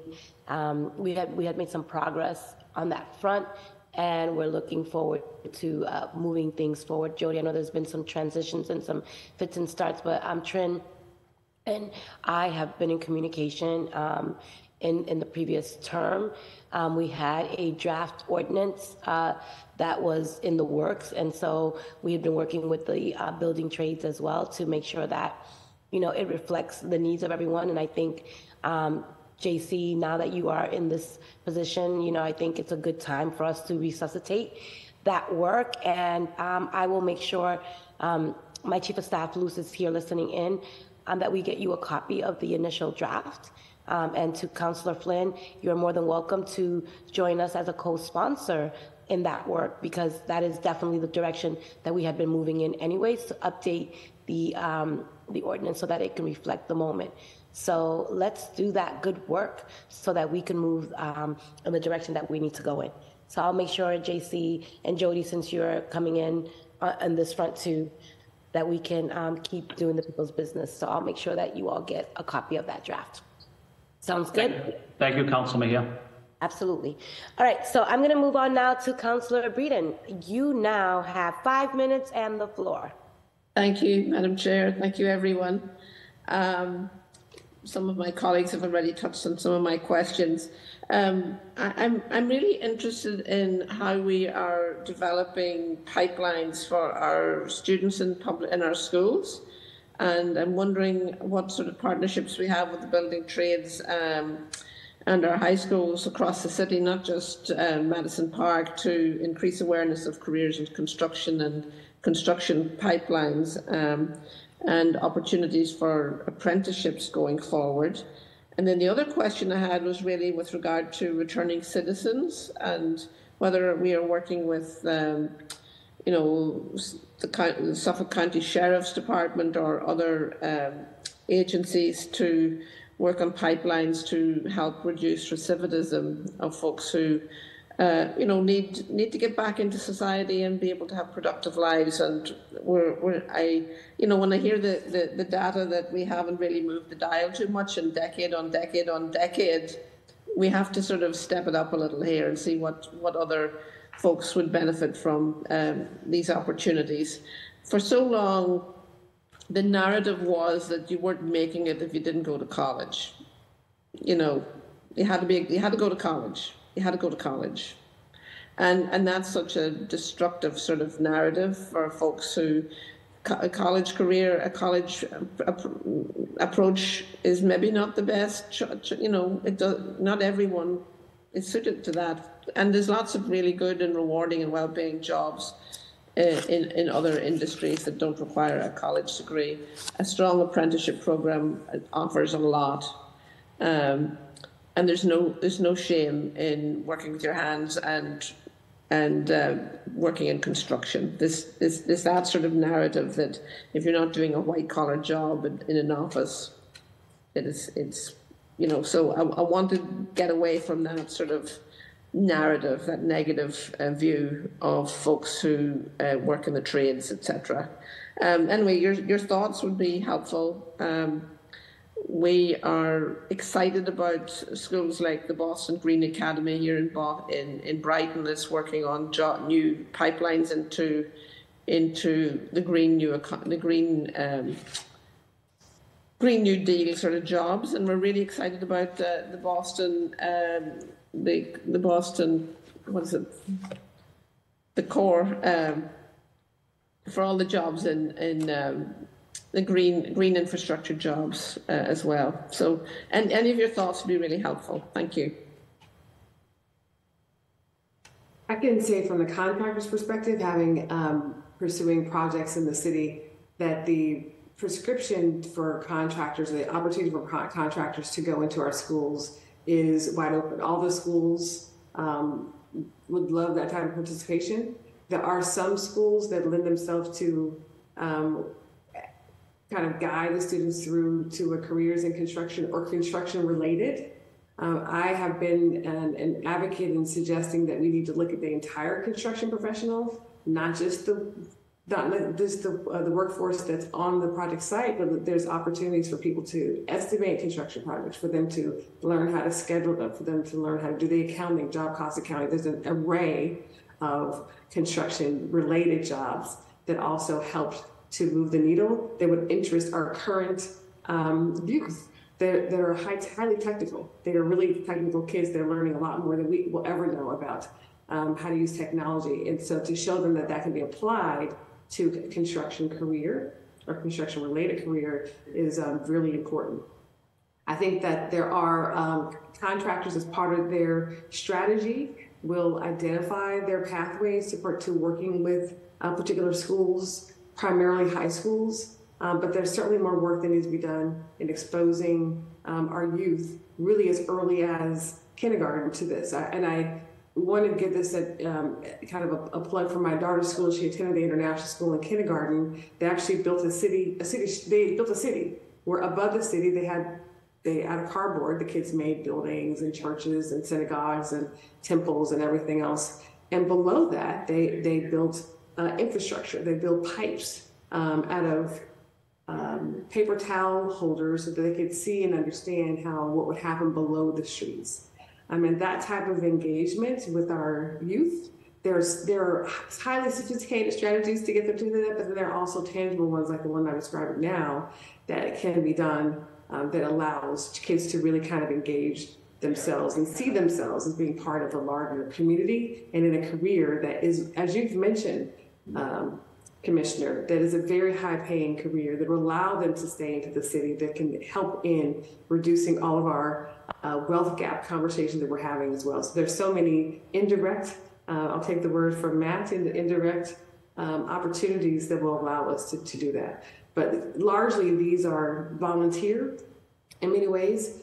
Contractors are becoming very innovative in developing their pipeline. We have moved the conversation largely because we've we've asked them to become innovative. We've asked them, how can you, what else can you do? To not just sit and do the norm. The Boston Employment Commission wants to hear your your strategies in what it is that you're doing. So they've done that. We also have asked them to look at hiring more or think about how they can hire more black and brown and indigenous um, and female-led construction companies because there's a direct multiplier in those categories of demographic of people and who they hire as their workforce professionals. So while we're not exactly tracking that, um, there would, we had a different story during the Big Dig. Big Dig was a different story, and, and that was a, a, universal challenge in trying to sustain people that were working then. Now we do, we are seeing that the female-led women, uh, people, black, brown, indigenous people that are leading companies hire more of the workforce a more of a diverse workforce. Thank you. If I, okay to add, um, Oh. Madam Chair? Okay, I see you all getting here. Okay, Jodi, I'm gonna let you answer. And I know Councilor Breadon, you have one more question. I think you have one more question, but I also want to be respectful of The, everyone. the other question was about returning citizens as, as Yeah. part of the. Make Yeah. sure, yep, make sure you guys get that in, and then Jodi and um, JC, you, you're both um, able to answer that. That would be great. Okay, so Jodi, why don't you jump in with your comments, and then Jodi, if you have any um, Sure. reflections on returning citizens. Okay, JC? Sure, sure. Um, so I want just in terms of partnerships with the Office of Returning Citizens here and Boston Public Schools, um, I can detail some of that and provide it to the city council if that would be helpful. Um, I know that one thing that we really work on here that in, in worker empowerment is the opportunity to provide pre-apprenticeship programs. We know that those pre-apprenticeship programs allow people to be more successful in the apprenticeship programs, and that's what that um, grant is all about. I also want to say that there's another side to this, which is that the infrastructure bill has um, tax incentives for developing apprenticeship programs. We are looking very closely at those and we are trying to build out our capacity support, to support contractors who want to pursue creating those apprenticeship opportunities and get those tax incentives. So we're working very hard to understand what's in the infrastructure bill and understand how we can support the flip side of building more of those apprenticeship opportunities. So there is, um, so because we know there's more people who want apprenticeships than there are apprenticeships available. Yeah, Madam Chair, one more one more comment or question. Um, I'm a, I'm a strong advocate for uh, English as a second language classes in the city, and I know that the Office of Workforce, you know, your office, um, the Neighbourhood House, Neighbourhood Jobs Trust, does fund uh, English language classes. But my concern is, and one one thing is, is a certain level when folks are new or they speak little or no English that there's very few buckets that we can go to to get money from to start those, you know, introductory survival level English to get the first rung on the ladder. There's lots of money for, give more money for job, for classes for folks who've got more, a higher level of English uh, and you're increasing their proficiency so that they can be better, more able, ready for jobs, the job market. But I really, um, I'll put a plug in. Uh, I'll beat all the bushes to get some more money for those really, those very basic, no folks who come with no English. They might come, they might already be be have a, had a, a job as in construction or something before they got here, but they don't speak any English, and and we don't have we don't have enough classes like here at the Jacks at the uh, the um, the Gardner Pilot Academy has a has a, a very a, good English language program for parents, and we they have a wait list of fifty people for the basic, no, like no little or no English level classes, and and the folks build on those skills and they progress and they become entrepreneurs and start their own businesses and they do all sorts of great stuff, but we need to do a little pump priming, priming in that particular area with regard to putting some money into that bucket, and I'd love to see. And I think a little, you get a lot of bang for your buck uh, in those in that space. So I'm advocating for a little more money for for the, those, and there might be some federal restrictions on how that money can be spent or state restrictions, but some more money for the folks that have little or no English would be really helpful. Thank you. If I could just add on to that very quickly, Chair. Um, so the returning citizens. Um, are certainly being part of the process, as, as uh, Director Sugerman Brozan mentioned, that they're definitely being brought into fields where uh, they can, into the different specific trades, and that's happening at the pre-apprentice level, ship level, as well as the apprenticeship level. I would like to say, though, that um, as a construction company owner and entrepreneur, uh, a shameless plug, but we are certainly working at how we're bringing people along from analog to really AI in the construction industry, and specifically when it comes to clean energy. So I have launched um, a construction accelerator that's specifically looking at wraparound support services for smaller construction companies so that they can have a pathway into clean energy projects. And those clean energy projects really are defined by everything we're building right now. It's the infrastructure, it's the housing projects that both have been identified at a state or a commonwealth, as well as a city level. Um, it is the commitments that we're making to innovation at all of our universities. It, there is, at some point in time, um, a huge need to, to get people trained in understanding what clean energy is, because it is the pathway for the future. We will be less dependent upon carbon uh, and fuel processes, and I need to cut at this point in time. I'm getting the cue, but there's less uh, dependency on that and more on looking at clean energy. Thank you for the question. I appreciate it. Thank Very you. good. And thank you, Councilor Breadon. I, I, I extended you additional grace as um, um, just because. I um, appreciate um, that. Thank you, Matt. But I don't want to be called out by my colleagues for giving you a little extra time that I didn't give anyone else. So I'm going to reel you in here.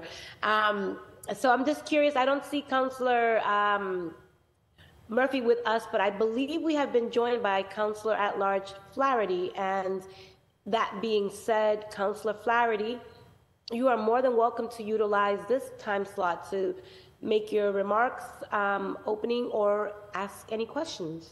Sure, thank you, Madam Chair. I had some connectivity issues earlier, so I've been off and on, but, so I, I just, uh, I'd be remiss if I don't mention uh, the sort of the forefathers, uh, specifically uh, former and late Councilor uh, Bruce Bolling, in his, uh, this was his brainchild, of course, along with a partnership uh, with our former mayor, Ray Flynn, that made this a reality. And then uh, colleagues along the way, particularly Councilor Chuck Turner, Councilor Charles Yancey, and Councilor Michael Ross, uh, led efforts along the way to strengthen it, to increase the percentages, uh, and to push it from sort of goals and objectives to uh, more in a policy sector. So uh, wanted to give uh, all those individuals a shout out for their work um, on this. They were in the space before there was, I guess, space. Um, that said, I, I wanted to ask the panel their thoughts. A couple things, making sure that the bench, in terms of the, our, our partners in the trades, um, I don't know whether or not they have access to the census data, but to see whether or not they're keeping pace uh, with the percentages in their respective unions, which ones are doing better than others and which ones are falling short, and how do we help that partner union uh, increase, um, you know, their capacity within that respective union to be able to meet the goals and objectives here. Number one, two, are you guys encountering any issues with the work from home phenomenon? I know it's happening in the private sector. We're also seeing it in some public sector jobs. Clearly, with respect to the construction side of the house, you don't get to work on a construction site from home. Uh, but the cost of living here in Boston, as well as the cost for daycare, childcare, and education, uh, has put a a lot of folks in a conundrum as to whether or not they take the job or uh, they move to another form of employment that allows them to work from home one day a week, two days a week, possibly work from home for the whole week. So I'm curious as to whether or not you're factoring that in. It will be, if not, it's already um, an issue for the city. It will be hitting our tax base probably in the next couple of years. We're seeing on the commercial property side of the house, um, firms, companies are taking less square footage when they're renewing their leases. That's critical funds that we as a city depend on to, for, for our schools, for our parks and playgrounds and libraries and trash collection, uh, snow removal, street cleaning, police, fire, EMS, et cetera. So I just want to see whether or not you have incorporated sort of that issue into your lens on the uh, census side of the house for the trades in the work from home conundrum that we're facing uh, as a city. And thank you, Madam Chair, for your indulgence. Can I take this one? I'll be brief this time. I think I, I'm causing the problem on people going over on time. So really briefly, um, as a signatory contractor, which I am, the con- the unions are not uh, sharing all of their data about the people on the bench. So we don't know exactly how their numbers stack up.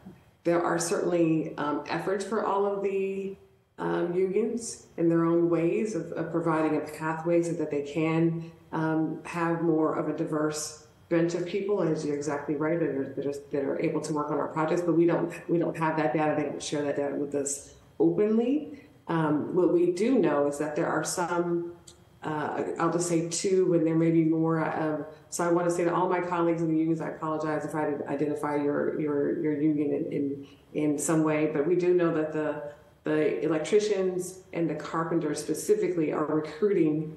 Uh, they tell us they're recruiting more diverse group of class entering every year than they've ever had before. Um, so for those two trades, we know specifically, but the others we don't. We know that those numbers are growing. Uh, that the others we don't know as much, um, have as much data on the, on the others. Jodi, do you want to um, answer? Do you have any insight? Or Councillor uh, Flaherty, if you have a uh, follow-up? You still have time left. I just wanted to note that for the record. Yeah, I think um, Chair Burton has already talked about you know, challenges with sometimes getting that, that data. I might add the ironworkers to your list of we know diverse, more diverse classes as well. Um, and I think that our jobs bank is making a very concerted effort to reach out to all the apprenticeship programs to ensure that the folks who are reaching out to us at the jobs bank have an opportunity to, to really um, be part of the apprenticeship pipeline that our union partners have have connected and, and you know and i think um, manager brown can say a little bit more but we are trying to be more intentional about collecting the data on which projects are union or non-union so that when we present our data um, we can have a little bit more of an understanding of what um, where union versus non-union um, are succeeding in meeting our hiring goals. Thank you. And I see, JC, you have your hand up. Round two, go. I do have a secondary thought that uh, I'd like to, to bring to the conversation. I do know that our community colleges, Ben Franklin Cummings Institute of Technology, as well as Roxbury, Roxbury Community College, have very aggressive and wonderful pre-apprentice training and trade training programs that are trying to have a meaningful conversation with the trades, with the uh, um, with the organized union uh, trade representatives, so they can, they too can have their students fit right into um, the apprenticeship or pre-apprenticeship programs. And so I, I don't want I would be remiss to make sure that I am um, not thinking about the entire lens of what's happening in the city, but our community colleges are certainly partners in this effort as well. Thank you. And then, does anyone have any thoughts sort of on that, uh, sort of, I guess, the work from home? And I know that we as a city, we've got a lot of job openings. I know the state has a lot of job, job openings. In places like the MBTA back in the day, you, know, you got a job on the T, um, you know, you're arguably set for life, uh, good job, good wages, good benefits, good pension. Uh, even the MBTA is having a difficult time um, filling um, um vacancies. So, are we seeing that um, sort of across the board in the city? Uh, and are we seeing obviously with our trades where again there are options? People now have options, uh, particularly on the stay at home and uh, the daycare um, and the education side of the house, which is those are major factors as to whether or not you take a job. It's the cost of living, it's the uh, cost of rents and mortgages in Boston, coupled with the fact that you've got some daycare uh, issues uh, and or in need of good quality, affordable daycare, as well as you didn't get the school of your choice, so uh, you're deciding to educate your child. It could be a private parochial setting. All of those factor into whether or not you want to work for the city of Boston and or you want to go to work for um, you know, a trade that has uh, that's adhering to the Boston residency job policy. Are you guys seeing difficulty um, hiring folks? And I, I dovetail that into the residency program. We've seen we've been sort of lax and backing off of the residency requirement for city employees and uh, an absolute travesty. We have the responsibility here uh, to preserve the middle class in Boston. We're becoming the city of the very rich and the very poor. The middle class is what keeps our neighborhoods functioning in terms of our civic associations, our churches, our youth sports programs. We need the middle class uh, and we need families to stay in Boston. This is a big piece of this. When we see the city of Boston uh, having vacancies that are not being filled, and then they waive the residency requirement. That job now goes to someone that does not live in Boston, that does not spend their hard-earned dollars at a local uh, convenience store or bodega or participating at their local civic association or their local church.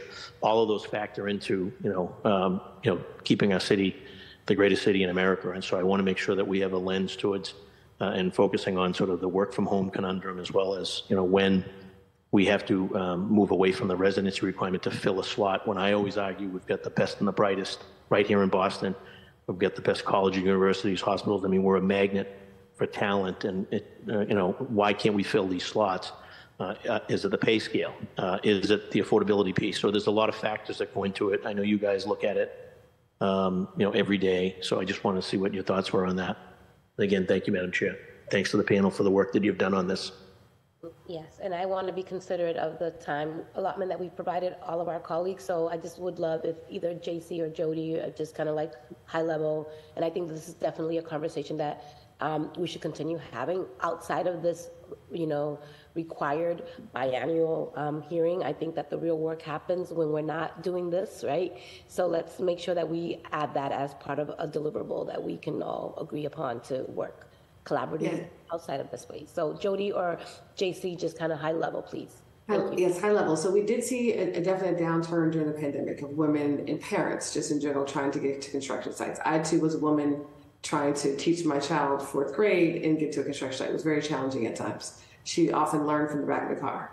Um, but at other times, there were that what we've seen is that that has kind of bounced back. We have seen all of the work that this council has done on providing childcare support to childcare providers, as well as um, at your partner with the, the Commonwealth, providing pathways for legislation and flexibility for childcare providers that we have not seen um, as much of a flat flattening out as now for people that need childcare that need to get to job sites as it was during the pandemic. That has uh, I don't want to say completely eradicated itself because people have certainly gotten comfortable with staying at home. So I'm sure there's a number that the researcher can be able to figure out for us.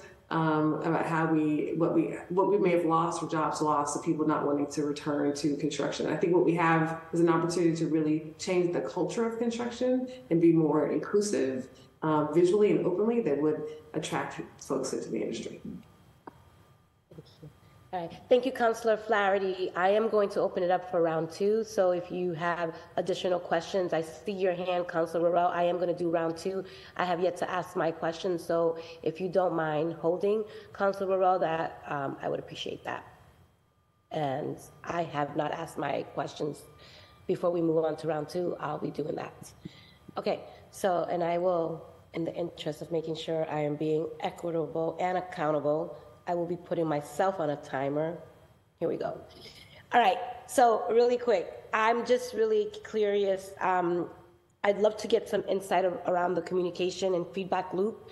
I'm really curious to hear kind of what information, if any, is provided to those folks who don't land a job or a contract.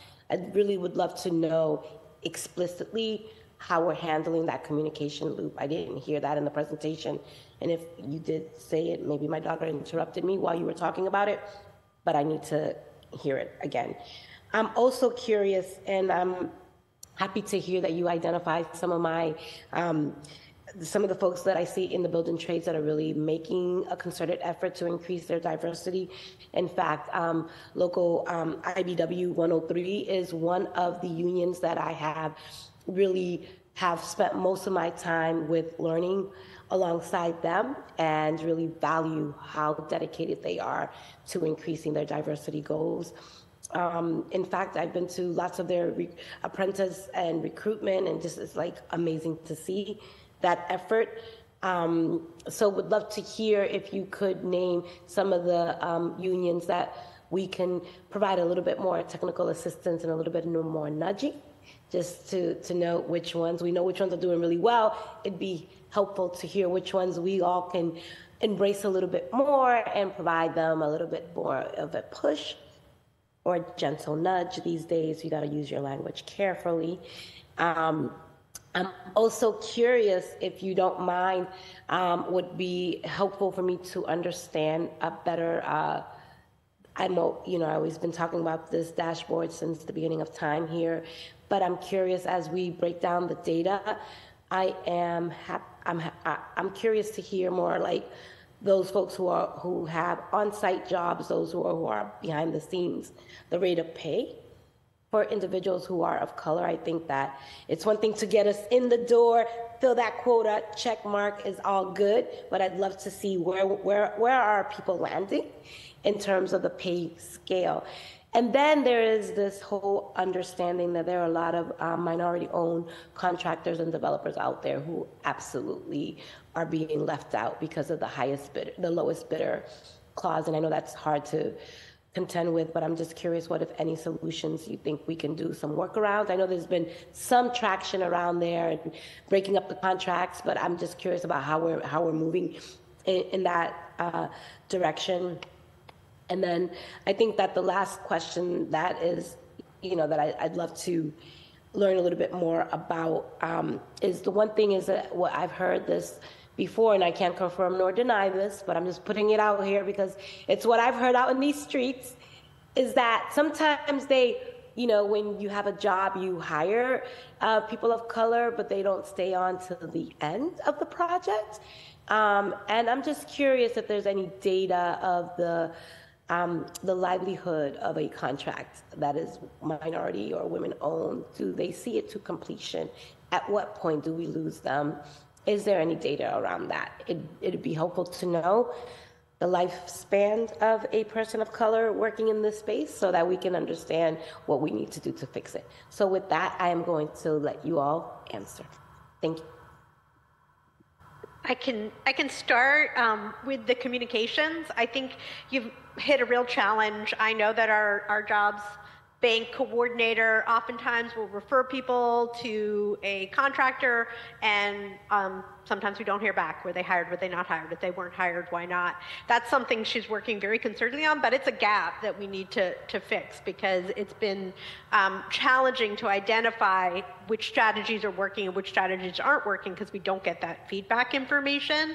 Um, but we are working on trying to improve that. Um, I think the question regarding which unions we want to nudge, I think the data that Matt presented earlier of which trades, um, that, that should give us a little bit of um, incentive to prioritize our partnerships with different unions. So I really, um, you know, we looked at that really closely and, and I'm, I'm hoping that will help, especially as we move towards building the pathways to the, the new Green New Deal jobs that we want to make sure that, that we're using that Yeah, Jodi, data. just, uh, just to be clear on that, it's just kind of like in terms of what the city has done to already provide some nudging and what else can we be doing to help support that? Yeah, I, I, I'm, that's a really good question. I'm not sure how much nudging besides partnering with our pre-apprenticeship programs. Um, I think it's a real important piece of what we're trying to do with building the pathways to the Green New Deal. Um, and that is something that's very much a priority for the Worker Empowerment Office. Um, the dashboard, I'm really glad. I'm sorry, Councillor Mejia hadn't brought that up in my presentation, but we do, our Director of Research and Evaluation is working on a dashboard that's not just construction specific, but sort of overall jobs in Boston. And she's been collecting data points and information and is going to have a proposal for what that'll look like. So it'll be a dashboard for Boston residents and jobs generally, um, including the construction industry. But that is something uh, that Chief Nguyen has instructed her to, to, to build out. Um, and I did the the lowest bidder. I want to go back to something that um, Councillor Flynn mentioned, which is that we do, and, and Chair Burton said this, we do have the ability to list, um, create a list of contractors who are not meeting the Boston resident jobs policy goals, and also who have wage theft violations as part of our wage theft executive order. That is not something we've done yet comprehensively, but that is something that the Office of Labor Compliance and Worker Protections is working really closely on. So do they have to use that information when bidding? No, but they can. And we are hoping to at least provide that data so that there is a level playing field um, for some of those um, contractors that are doing right by the workers, who are protecting the workers, paying them properly, hiring Boston residents and people of color. So that's something we've been looking really closely at in the Office of Labor Compliance and trying to figure out how we can build a, a database or a data tool that our procurement and contracting staff can use to really to really check on that. Um, and then finally, on the, the hiring folks at the beginning who don't stay on till the end, we do have uh, projects that come before the Boston Employment Commission come at 10%, and Chris and, and Commission, and Chair Burton, you'll have to make sure I have this right, but I think it's 10, 50, 75%. So when they come before us, we're seeing them at different points throughout the project. So we can really see where their numbers are. That is only the projects that come before the BEC, and as um, the manager um, Chris Brown has showed that's that's not everybody. That's why we've started doing the payroll scans to give a broader picture. Um, but we do see those projects at different levels that come before the BEC at different points, and we have the ability to check their status along the way.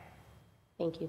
And, I- and, and because I want to be uh, fair, uh, JC, and if you have any additions that you want to add, then I'm going to move on to second round of questions in, uh, in order of arrival. Thank you.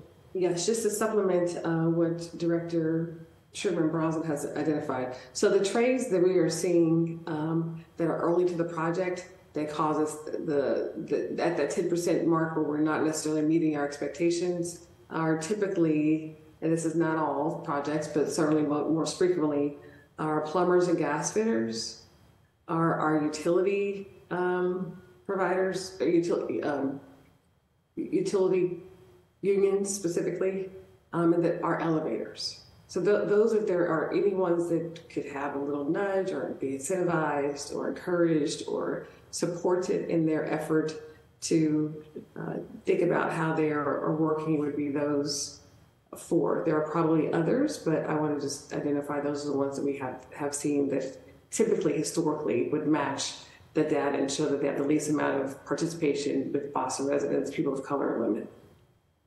Thank you, and I'm going to stop asking questions at fairness. So I'm going to go back to a second round. I know we do have some folks who are also signed up for public testimony, so I also want to be respectful of, the, of that. So I'm going to go back to the lead sponsor, um, Councillor Louijeune, then followed by Councillor Worrell, followed then by President Flynn and Liz Breadon, and then myself. Councillor Louijeune, you now have the floor. Thank you. And I also heard from Councillor Fernandes Anderson, who's a co-sponsor on this as well, who I believe was trying to make it. I'm not sure she's going to, but just wanted to put that out there. And also, I think Jodi, you had mentioned the uh, issue of worker safety and how there are folks signing up. I'd also just be remiss if in this space we don't uplift the worker window washer who passed away um, from a, uh, you know, working on a skyscraper. I think window washing is one of the most dangerous professions and um, we need to be thinking about how we how we make it less dangerous here in the city. Um, I had questions uh, for Manager Brown.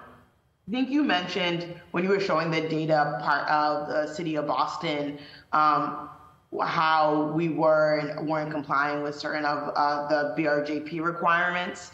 Parks seem to have a particular de- deficit of about 20 percent people of color? Is there a reason why parks more so? I think that some of the numbers for some of the others were somewhere around 34% or 40%. Why parks is at 20% when it comes to people of color? Uh, absolutely. Thanks. Thanks for the question, Councilor. Uh, usually, the Parks Department is a small department. A lot of contractors that work on those projects are small contractors. It might be a father, a man with a truck, a father and a son. Uh, you know, so I would say probably because of the fact of the size of the companies. And again, it could be a man with a truck, could be the father and, the son. So that's what we see on those type of projects. That's a, that's actually really, um, I appreciate that because when we talk about how we're diversifying the trades and constructions and who gets city contracts, some of the easier and more accessible contracts tend to be those smaller ones, like the the the guy the guy with the truck with that has like a. So I, would actually expect and want to see if that's happening for us to do better in that area, um, because those are maybe the lower dollar contracts. Um, you know, our folks have not had businesses for as long as uh, as, as, white owners, and so we're more likely to be the smaller mom and pop. So just putting that out there, I've, I've heard different folks say this around the city that like those are the contracts the you know we make contracts more accessible when we break them down in their smaller bids so i just think that that could be an area for growth for us to be more intentional in the parks department for us to be doing work with those guys with the truck in roxbury and in dorchester and in Hyde Park and in area so um, just like a call to action. I guess that's that's what that is. And then you know when the, the another number that was interesting because I, I think previously we've seen that on some of the private projects, um, they've had higher percentages of people of color for a number of reasons. But on this data that you show, the chart actually had a higher percentage of people of color for public projects, which I think is exciting data and information is there a reason? Do you think is like are we seeing a trend? Is there anything behind that?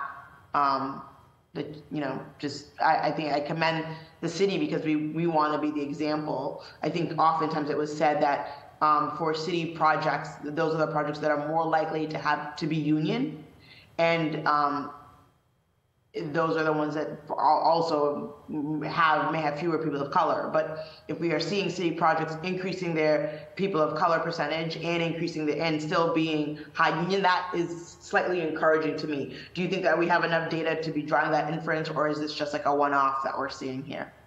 Yeah, I think we would have to look into it further. Um, not sure if it's a one-off or not, uh, but I do think in general with the private and the public projects we do see a lot of uh, the people of color goal is uh, the most uh, obtainable goal that has been, and that's probably because you know you can have a person of, color that doesn't live in Boston, right? That get counted on the data, but not sure if it's a one-off.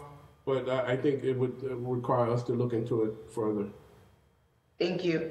Um, uh, Chair Burton, I have two questions for you. Thank you for what uh, you've offered. Um, one is, I didn't, you were giving an example in the first round when you were speaking of a project that was like meeting the, exceeding the goals. I just didn't catch the name. Can you, can you repeat it for me? I intentionally did not um, Oh, identify oh, okay, that that, was the project. Okay, all right. I, I, I want them to be successful, and, I, and I hope that they are. We'll Um, talk offline about that. Yeah, yeah, yeah. We, I will happily tell you. Um, it's it's a it's a hospital project. Um, it's Mass General. They've been a great partner in, in with the city. They've made investment um, in knowing that they wanted to make sure that they could meet the Boston residents job policy. So the the asset manager itself, Mass General, has been investing in providing a pipeline so that their project would be successful. And we're seeing the fruit of that development of that. They, they started this work a year before the project started, maybe longer. Um, but they are specifically making both financial investment um, as well as driving the ship is, to, to make sure that we can can see a project that is reflective of, of what the, the people that they actually care for every day. I think that's awesome, and I and I hopefully will be like drawing lessons from that that I we can apply to other projects. Um, I wonder, you know, there are other questions like it, Mass General is this huge entity, and sometimes it, the bigger you are, the easier it is for you to um, to be sort of like the innovative trends that you're talking about. But we, you know, not that it's exclusively so. We can um, there's work we can do to to make that more accessible for smaller projects as well and smaller companies. But um, uh, I also had, had a question for you regarding you talked about the fines um, and how a lot of times folks are like you know, that the fines are how they see whether the efficacy of BRJP, even though it's it's not a direct link, you know, it's a proxy.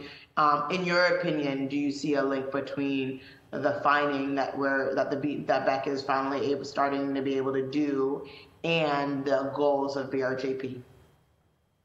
Um, so the fine that we're able to do does not actually really reflect the work that we're trying to do, right? We're trying to have a, a diverse set of people that are in the city to work on projects, right? And we're, and we're saying let's get them, let's just make it, let's make it equitable. Fifty percent of the people on projects, fifty-one percent of people on projects who live in the city. That's just like half. It's not. We're not mm-hmm. saying eighty-five percent. We're just saying half. Mm-hmm. Mm-hmm. We're saying that the city um, has an issue with with has a long history um, over its lack of engagement with people of color or fairness of treating people of color working on construction projects. So let's let's make a mark to not identify every single ethnicity on a list, right? Which we could, but just say all people of color should be, you know, about forty percent. And let's make sure we are helping women um, who who had their plight in the industry in the 60s and the 70s that get shut out of work for lots of reasons, but mainly just because people don't think that they're capable and qualified of doing the work. Let's make sure we are attracting them. So we're not actually able to provide fines in the work that we are, are doing at this point in time. It's really administrative. But you do see that the sometimes we've, had uh, hearings around the fines, and, and the company that had the, the largest fine, the most egregious fine so far, um, their attitude was very challenging. They, they, President Flynn brought up a point earlier about the attitude of people just not caring. They were one that he could write in the book that they were not willing to try to help and have a, a civil conversation around how they could do better or, or what they had done or their reporting mechanisms. Um, they were a contractor that is not based in the city, so they kind of fly into the city, so to speak, do the work, and then they go back. Um, and and if they can can can come in under the under I don't want to say darkness, but they can come in really quickly, get the work done, leave out. They're happy to do that instead of really engaging in the process of trying to find workers or people of color. Uh, and mind you, this is a very sensitive issue as I'm a member of this community, right? These are my trade contractors and subcontractors that I try to hire and work with on the projects that we're working on. And so it's very challenging to to um, to find the right types of incentives so that they could they could meet the goals. Thank you. Um, thanks, Chair Burton. Um, I think those are my questions, but I mean, as you were talking about like how you are also in this role and how you, you are when you're when you're doing that, you're also thinking about BRJP. We as city councilors you know, I think whenever we get, we get, we have hearings all the time from MSBA that comes for us for funding. And, you know, I always ask questions about BRJP compliance and like, I, I feel like that's not enough, right? But I, that, you know, that's my opportunity and my avenue to make sure that there are projects that we are doing, that we are being intentional about BRJP, which is also why I'm excited that, you know, our, our, our public numbers seem to be going up, which is encouraging for me. Um, but as city councilors, we have we have all these we have some big projects that are on the horizon, right? When talk about the P3 or Ab or Suffolk Downs, um, is there work that we can do or be more intentional on the city council to ensure that these big projects are going to be complying with BRJP or in Chair Burton, the, the example that you mentioned with, with the, the hospital and, and the contractor there really exceeding BRJP goals, especially in neighborhoods that are black and brown neighborhoods where, you know, we have all this development coming that is, you know, trying to straddle the line to ensure that it's not causing displacement, but how are we winning so that, you know, in due time, in two years, when Matt comes back to us with research, uh, that it's not a we're not at 23%, that we're you know maybe capturing 33% or 40%, even if we're not at our 51% goal. And I'm going to just note for the record that I've extended the time. Um, Council Louijeune is one of the lead sponsors here. So for those who are tuning in, it's not not playing favorites. I'm also being super mindful of her role here. So with that, if you don't mind answering those that last question, then I'm going to move on to the second co-sponsor. Thank you, Councilor Louijeune. Um, I'll be really brief. So we, I um, had the wonderful opportunity of trying of, of providing some insight um, to the development authority thinking about how they incentivize new projects. And one of the things that we that I talked about that I mentioned was that there should be consideration for the direct investment into the pipeline development. Right there, there, this has to be a public-private partnership, and uh, was really public private, private, and we, if we count our unions involved in that as well. Um, and so the, if there was a way to identify uh, projects, small or large, again, and I know that I, the one that I highlighted today was from a very large project, but I can tell you uh, a year ago this time I was testifying about a project that was small, that was residential in nature with a brand new contractor who was using Craigslist to recruit people of color and was extremely successful. So we, we do want those case studies so that we could have a, a whole range of, of, of, ideas. And I would have never thought to use Craigslist. Anyway, I can say that we, we can look at how BPDA maybe can incentivize that by uh, developers having budgetary um, line items identifying how they're going to um, implement these projects. It's going to get me in trouble with all the developers because they're all my clients too. But having a pathway that they that, that, we know we can develop for that because we, we do need the help but and being able to have that financed right there is a page out of the commonwealth book that i can can tell you what this development of um of mass clean energy mass ec clean energy council and they have particularly looked at um, grant opportunities for organizations trying to scale and or grow companies to go into clean energy and so there could be a, a play on uh, sustainable sustainable projects, on housing projects, on infrastructure projects that could uh, be very helpful in that. But it is going to take a monetary investment uh, because our current pathways are just not working. Thank you. Uh, Jodi, we're good? I'm going to move on to the next. Yeah, great, awesome. Okay, I'm going to move on now to the second co-sponsor, uh, Councilor Worrell. You now have the floor and your five minutes. Uh, thank you, Chair. Thank you again to the administration. And um, bringing off of um, Councilor Louijeune's last question on how we could be more intentional, just seeing the numbers and most of the projects, like the hours that, you know, Chris, that you provided showed that, you know, most of the uh, work being done are in the private sector. Um, and most of those developers, you know, come through one of our offices, right? It's, you know, coming through one of the district counselor offices asking for support. You know, it's, it's our community meetings um, that they go to where we have staff at. Um, so kind of, I've, I've, just been thinking on like, how, how do, how do we, you know, you know, I, I hear about the timeline, but then I think about what Matt presented, like we're missing $60 million a year right, in wages. And that pipeline is going to take some time to get put in place, some time for, you know, the students to actually graduate. But, you know, every year, I'm not sure if it's every year, but in 2022, you know, at $60 million, next year it could be 40 million. But that's a lot of money not coming into our community. So I just want to push you a little bit more, uh, Chair Burton, on like, is, and I've been thinking about, is it a project labor agreement? Is there agreement that we could strike here with the developers to kind of get them to say, you know, where we we could hold hold their feet and hold them more accountable to, to meet some of these goals that we that we've out, uh, outlined. Yeah, I think a, a, PLA would be very challenging. I think that all projects are not equal. Um, all parcels of land that you that they're working with are not equal, and so I think a, P, a universal PLA approach would be really challenging for them to implement. I think some of the projects do have PLA, and, and they're still kind of working through them, and some don't. Um, I do think that it, it is really being able to, um, I mean, they develop the projects that have developer participation at the back are the ones that are most successful. The, the developers are there, they're committed, they're, they're trying to help the contractor team and the subcontractor team identify pathways to move forward. Those are the ones that we have the most success with. Um, and they are have they have their own policy or incentives.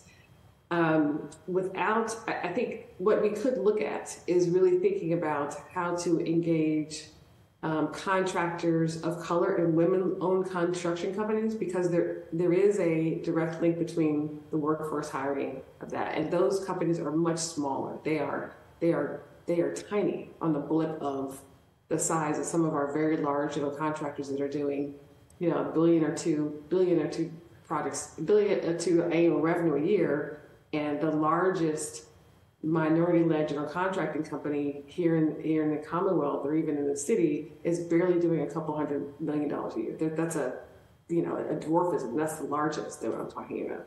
So there's a lot of work to be done in that and helping to prop up minority-led firms in a in a real way uh, by giving them a lot of support, so that as they scale, they too they are usually, like as I said, they're the ones that are hiring people, and and female-led companies too. And not all not all minority-led companies are the same, and not all female companies are the same. So I want to just provide a disclosure statement of that. Some of them are not diverse in their hiring at, at all, but the majority of them are. Uh, thank you for that, Chair. And I, I know the state has, you know, a list of um, MWBEs. I believe the city has one as well. Um, is there any other database as a city council like we could be directing um, our contractors to, saying, you know, here goes a database of subcontractors, contractors that can, um, you know, help. Yeah, so I, I think um, a lot of the MBE companies are, are the smaller ones or, or ones that are emerging or growing are not all certified yet, right? So there's a, they're incentivizing their certification, and I know that the Office of Economic Development has done that every quarter, I believe, since they've kind of started to track that. But but there's an opportunity that a lot of companies are not getting certified um, yet. They are they are wanting to prove themselves as being great contractors. Uh, and and first, and then they will get certification. So we, we see that as a trend. So as of a list, um, I know our accelerator has a list of companies that we're currently working with to help them scale and grow that are that are all minority-led and female-led companies. Um, but that would be the only other list I could probably offer to you. There, there I think um, ICIC also had a had a 2022 round of contractors that they were kind of helping to scale nationally, and they too may have a couple contractors in there that are that um, they were working with. They have a, a, different model than our accelerator, but they certainly had a few more contractors that may or may not be certified yet. And my last question, Chair. Um, the uh, wage disparity, um, I guess is the question for um, Chris on can we start to break down um, income based on or you know hourly salary or hours worked um, based on the three categories. Um, I hear a lot, you know, from people in our community that, you know, they're, they, they're, that they're not getting the same level of job or getting the same amount of hour. Well, not the same, yeah, the same level of job, which is not resulting in the same type of pay. So I, I would love to kind of see if we could break down, um, you know, the wages on the tiers of jobs that are going on in the private and public um, sites. Absolutely. So uh, the data set up right now, so there's only certain projects that are required to report the hourly pay to us. And those are the public projects.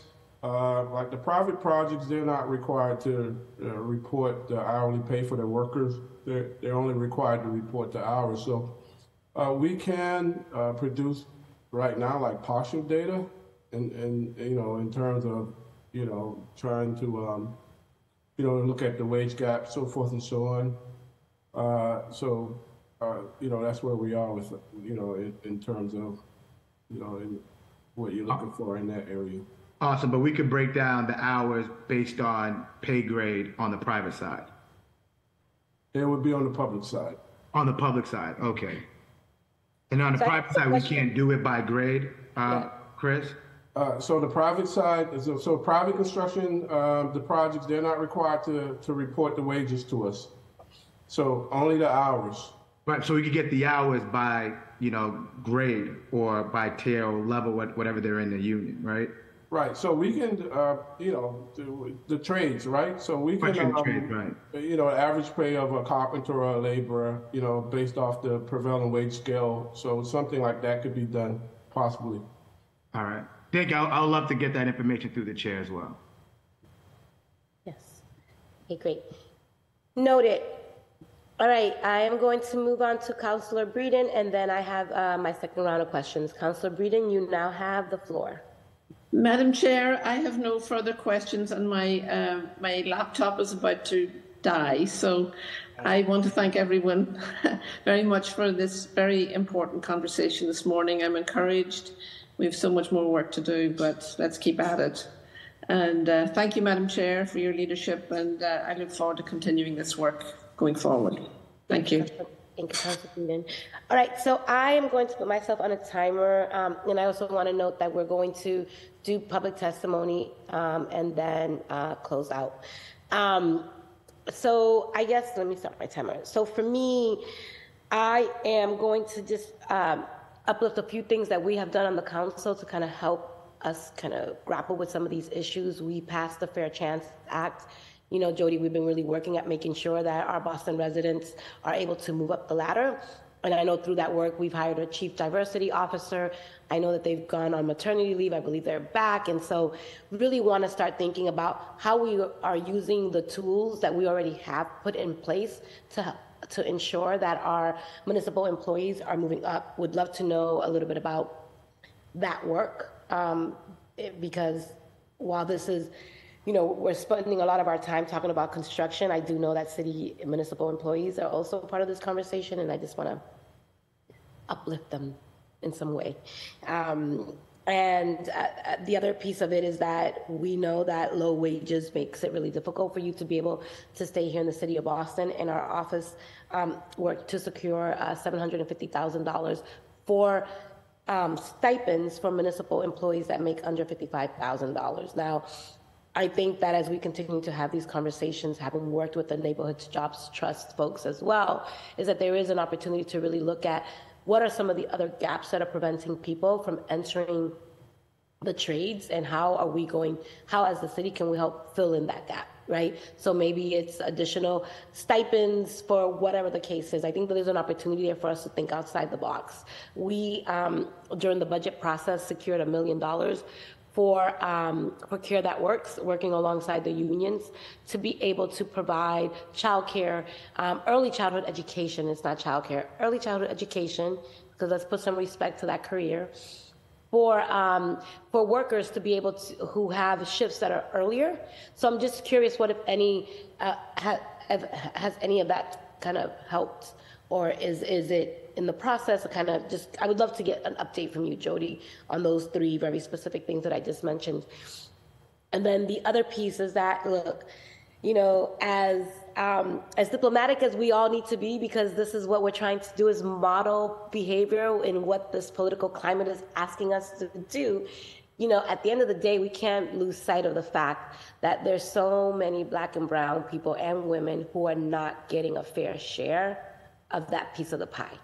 And what we are doing when we're not um, creating opportunities for people to have contracts or to have access to good union paying jobs, right?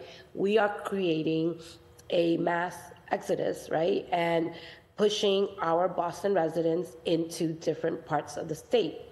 Randolph, Brockton, Stoughton. The majority of the parents that I used to work with when I had my own nonprofit organization have now been displaced to these outer outer um, areas. And so I think there is definitely some consequences here, Jodi, that we really need to start grappling with. Is that you know if you're not able to keep a job or get a job here in the city of Boston, then we're moving people out, particularly low income Black and Brown folks. And so I'm curious as we're looking at this holistically, right? And because we are entering budget season, I need to hear from you, okay, what you need to be set up for success, okay? And then, JC, I really would love to hear from you. And, you know, how do you define success? Um, because I just don't want to keep having, this is my, I think, eighth, um, we do this every two years. This is my third year, so maybe six, I can't count, whatever. I know I've been here, okay, and I just don't want to keep coming up and, and asking the same questions. I really want to get to a place where we take what we've learned and we actually do something about it. So I'd love to hear what that looks like for you both. And with that, I will defer to you all to answer the questions. Sure. Thank you, uh, Thank you, Madam Chair. I'll answer the, the questions, the very specific questions. With regard to the Fair Chance Act and, and hiring into municipal positions, I'm going to have to defer that to the Office of Human Resources, who I think has been much more implementing that with one, um, one caveat, which is that the City Academy program is run by our Office of Workforce Development. And this year, with thanks to the council, we have expanded budget to expand City Academy. So we're going to be including new tracks for school bus drivers and also a new track specifically for wastewater operator and green infrastructure. We're working on that now, and we're very excited about the, the two new tracks that are directly building pathways to city jobs by providing the training and pathways to those to those jobs. Um, you know, I think I, will defer to Chair Burton on things like stipends for lower um, to support people. This is something I've heard the chair speak about directly, and, and housing support as innovative strategies to to keep folks in um, the city. But I, I will say that um, project labor agreements were brought up, and that they can be a tool, particularly for those public projects, and that our office has been working on a toolkit that specifically tries to lay out apprenticeship ratios for public projects that lays out childcare and requirements for, for those child to invest in childcare. Even um, even innovative diversity, equity, and inclusion language. And I think that that's something that we're really trying to build so that we can be a resource for our other agencies within the city of Boston to have that language at the ready. Um, and we'd be happy to share some of the, the language that we've developed over the years.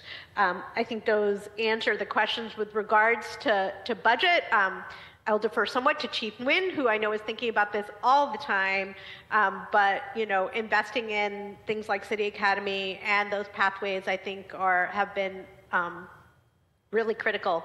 And I think, uh, not to sound like a, a, broken record, but the new Green New Deal workforce needs assessment is really going to define how and where we need to invest dollars to ensure that there are pipelines, training programs, support systems in place so that Boston residents, and especially those who've been most impacted by um, the impacts of climate change, have pathways to the jobs we're creating by the Green New Deal. That's going to be something we'll be seeing over the next year, and I know that we'll be sharing that information because once we define what that is, we'll need the investments to make it happen. Thank you for that. Hey, Chair Burton. Thank you for the question. Um, there's a, so I have a tendency to try to test things out on my own, and then I bring them back to the to the Boston Employment Commission and see if they work. Uh, and, and, one of the things that I've talked about largely, because I, I, can't do this on my own, and I, and I wish that I could, is employer-sponsored housing. Way, way back, there used to be a strategy where a large employer would have a parcel of land and a parcel of land that around it, it would build houses and it would help its employees buy those houses or lease those houses and it became a pathway that they would either they would obviously stay loyal to that company or they would leave i think there's a new model for employer sponsored housing in the construction industry specifically that lends itself to um, all those billion dollar construction companies i mentioned earlier to really have a way to help people either move back into the city to incentivize that, or for them to stay in the city, or for them to buy in the city.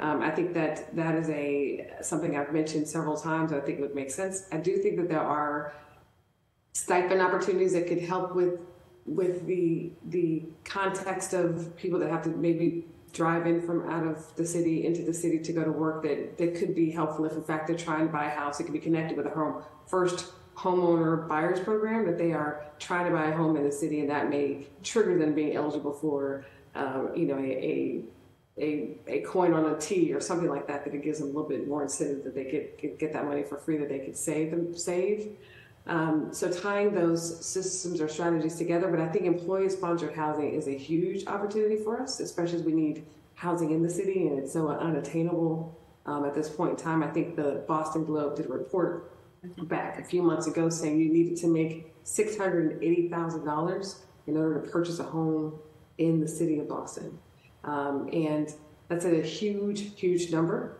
The Globe has done some excellent reporting around our industry specifically, but but that one was one that stuck out. Would say, well, even if you're if you're starting off uh, in construction, that seems that appears to be not attainable um, and unattainable in every way. So that would be my current recommendation. I have lots of other ideas that I am working on. I'd be happy to talk to you offline. I think there's some some some really cool things that can be done to incentivize folks. Yes, Chair, and I am looking forward to working alongside you. I actually filed a hearing order on workforce development housing.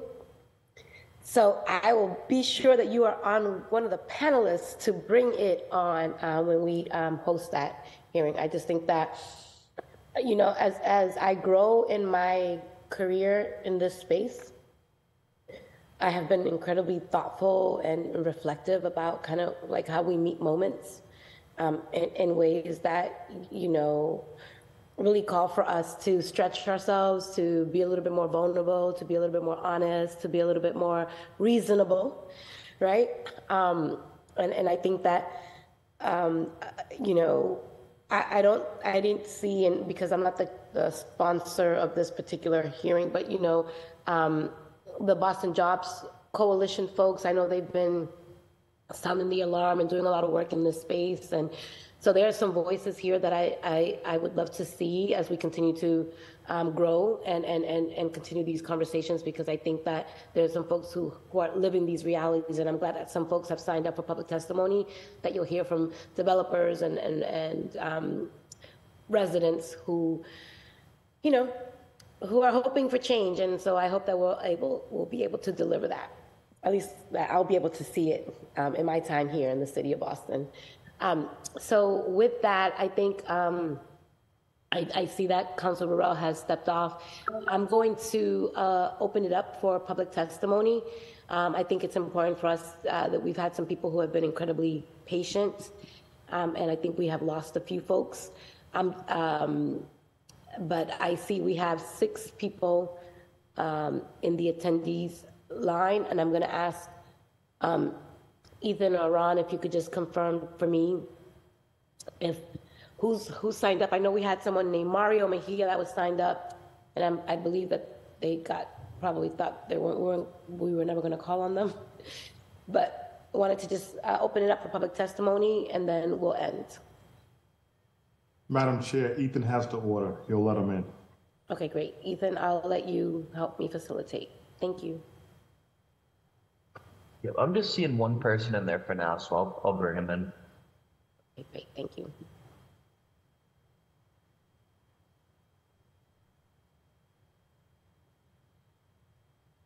Councilor Me, uh, Chair Mejia, I believe we also had someone uh, as part of a panel.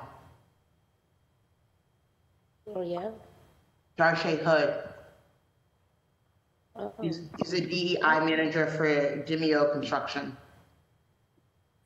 Okay. Can you hear me? Wait one second. I'm sorry, then why don't we, I, I don't see him here. Oh, able Darche. to hear me? Yep, yep, yep, now we can, okay, Oh, yep. okay. Yeah, I so am. sorry I- about that. No, don't be sorry. Thank you. Good afternoon. um, this is really my first um, experience in this, so if I don't know the proper procedures, forgive me. Um, I was contacted yesterday and um, told about this call. So thank you for calling on me.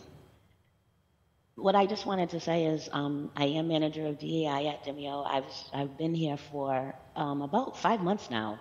Um, and what I've realized, I am um, I'm still a card carrying member of the Local Six Heat and Frost Insulators um, out of Dorchester, and I was there maybe three months shy of 14 years. Um, and as a black female, I was checkerboarded. So what I've noticed now that I am in um, the role of compliance is uh, the reality is there are a lot of trades, especially um, when it comes to like the site work and demo, where you don't find um, a lot of the women uh, for these requirements, which I've continued to find as a problem. And when we have all of these jobs with the requirements and all of the GCs are pretty much pulling, we all have the same numbers pulling from the same areas. Um, it's, I guess it's the support um, from the BRJP as well, uh, being that you have these requirements. So again, I am new to this, so that that's one of my that's a question I have, like the support that we have, other than just adhering to the requirements. Um, how do we do this as a team? Uh, Madam Chair, if I may, can I, can I ask Darshey a- a- just a clarifying question? Yes. Uh, Darshey, you meant, thank you for being here. I appreciate that. I know that my office reached out. Can you just explain to folks what checkerboarding is? Because I used the phrase and there are folks who may not know what that means. Oh, construction slang. um, checkerboarding um, is, again, these jobs have goals and requirements. You know what? Let me, uh, here we go. These jobs do have goals and requirements, and checkerboarding would be, uh, I would, especially as an apprentice, when I would be sent to a job that had the, I, I am from Rhode Island. Our local does cover most of New England as well as Rhode Island. So uh, the majority of the beginning of my career as an apprentice was spent in Boston to um, fulfill those requirements. But what checkerboarding is, this job needs a requirement. We're going to send you here to try to fill up some hours and we're going to bounce you to this other job because at one point I was the only black female in my local. I'm actually the only black female to ever have completed the apprenticeship in Local 6. So that just speaks volumes to what the GCs are up against. um, that's just a reality. So again, that's that was that that's a question like uh, being new to this, what support we have um, when trying to achieve these goals. Thank you. Thank you. Um, and you know, normally in terms of questions, we usually defer for the colleagues, but I always no, no. Let me tell you, I switch. You're lucky you're in my hearing because what I believe is that the people, right, who are living the realities and or doing the work, usually have far better questions than us as councilors, right? So I am going to um, continue to honor the way that I roll, but normally that that doesn't happen. So I would love, um, Jodi, um, if you don't mind, providing some insight and, and and or JC in terms of just some comments, questions, responses to those questions, or or whatever you feel um, you can offer. I would be more than happy to allow that. Well, Actually, uh, I would like to take that question if- if possible, Chair Mejia. We're on the lookout for um, checkerboarding. It's been a common practice throughout the years. And so how we combat that, we- our monitors, a lot of times they have personal relationships with like the women construction workers, right? Because they reach out to us and, and on some cases, they know us personally uh, because we're on site. And, and also we, you know, we have a database and we can see when a, when a person's transferred from one project to the next. It's not always to, easy to determine whether a person being checkerboarded or not because you might be working on one project and then the work is complete and then you end up, you know, then the person ends up on a, on another BRJP project that we might have. Uh, and that's because the work is complete. But we can typically tell when a person is being bounced around, right? But just because we not only uh, are we monitoring the project that that person's on, but you know we have other projects that other monitors, and we we know the names of especially women because there's not many women. So we are on the lookout and we are aware of checking boarding, and we made it we make it perfectly clear in our meetings. Absolutely no checkerboarding. So, and, and that we're going to be on the lookout, and we are on the lookout. But, but thank you for that question. No. Thank you. Thank you, Madam Chair, and I appreciate you understanding that I'm learning the process as to how this works. So I appreciate your even um, allowing me to ask that question. I love it. I love it. Ms. I- I I- think that we need more of this. We need more of this. Uh, JC, you want to say anything? Yeah, no, I was hoping we'd have more contractors come to talk because I think their perspective and their engagement um, and their challenges of being open and honest with us around what they're talking about. We try to have that in our monthly meetings, but having them in a hearing would be important. So hopefully, maybe the next cycle they can can come in roles and talk about the challenges and things that they need uh, from us.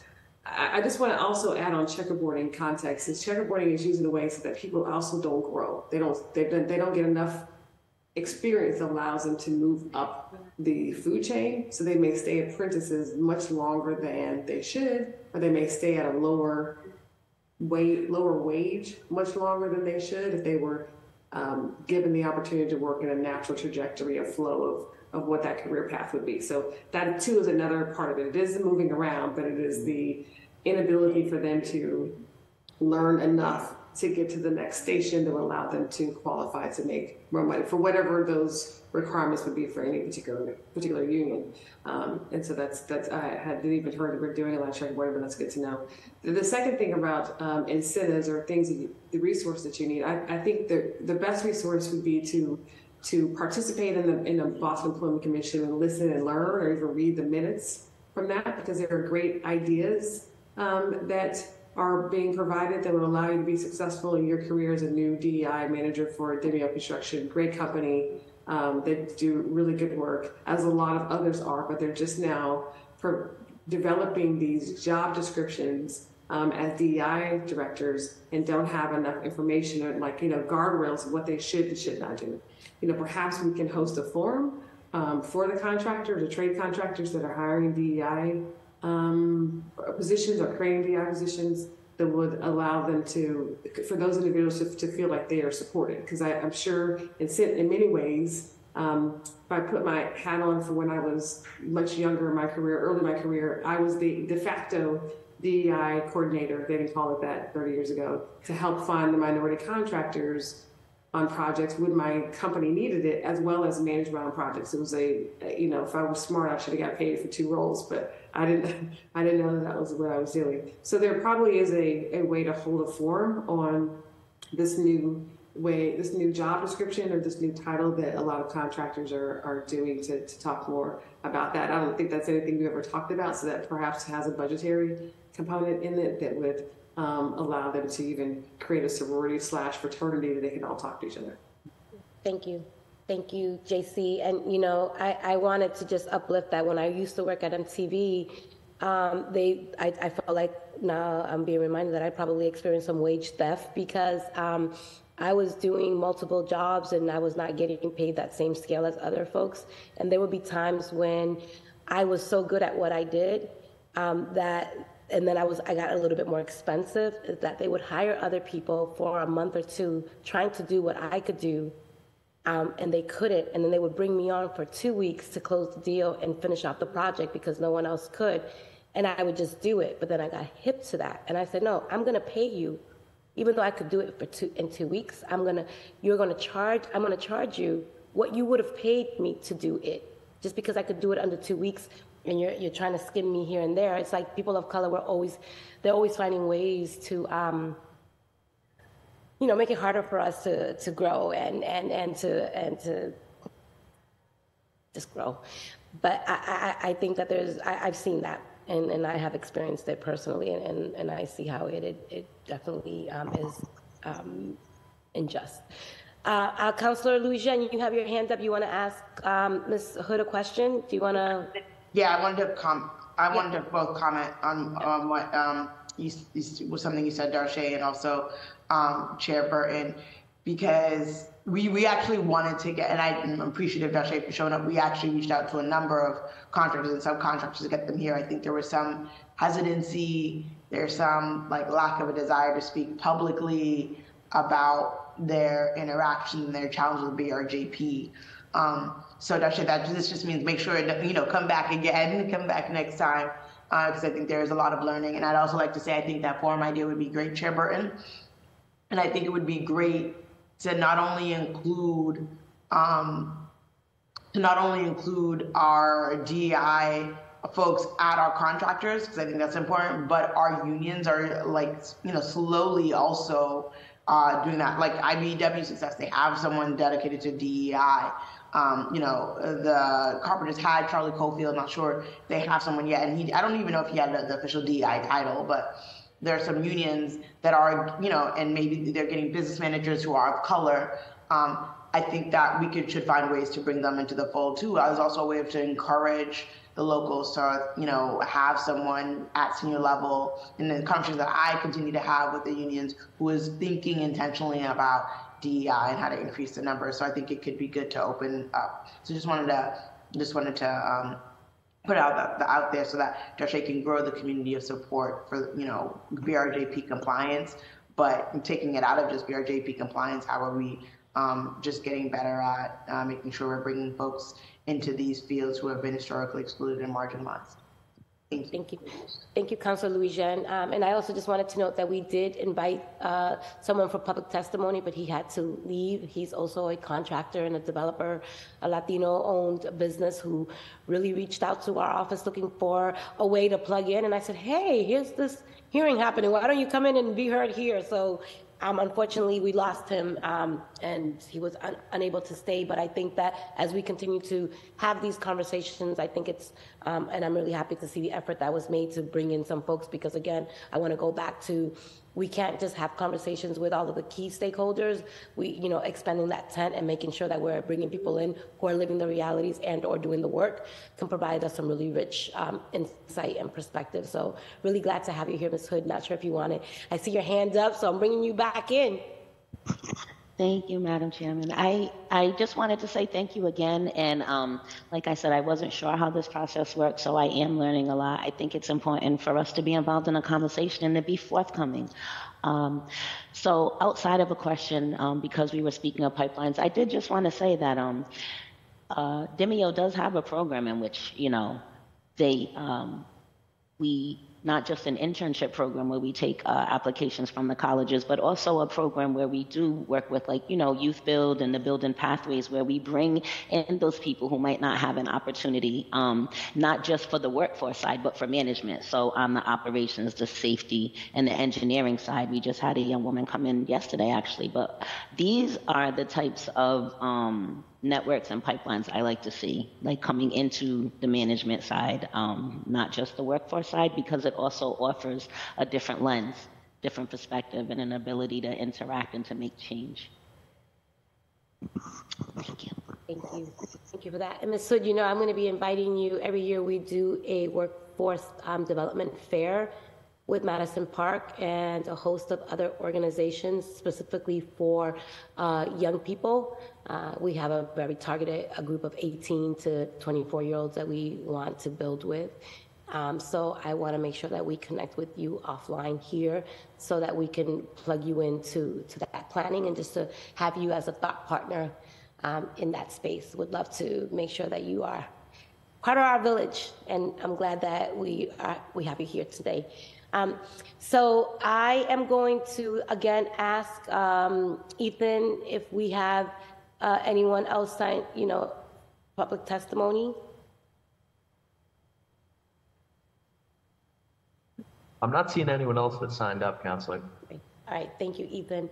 Um, so I'm just, I just wanted to thank uh, our panelists um, and our, our uh, the central staff and our sponsors for bringing this conversation. I think, you know, it is, uh, we have some to-dos and some takeaways from this conversation. Um, uh, JC, we're going to uh, forward to you. It's called the Chuck Turner Act that we started working on last year, and so we're going to resuscitate that. Um, just because we want to make sure that we bring the work to where it needs to go. And I think working in partnership with you, now that we have new transitions and all that good stuff, Jodi um, and Chris, I think that we have an opportunity to really kind of like take the lead from you all and making sure that we create something that makes sense. So we'll be sending over the draft that we had initially started with um, some folks, just so that we can get it to the finish line. And we'd love to do that in partnership with you all. And I know that uh, President Flynn was the one who sparked that uh, recollection for me, so I'll be sure to follow up to his office to make sure that we have some perspective. And I believe, Councilor Louijeune, we had shared it with your office last year.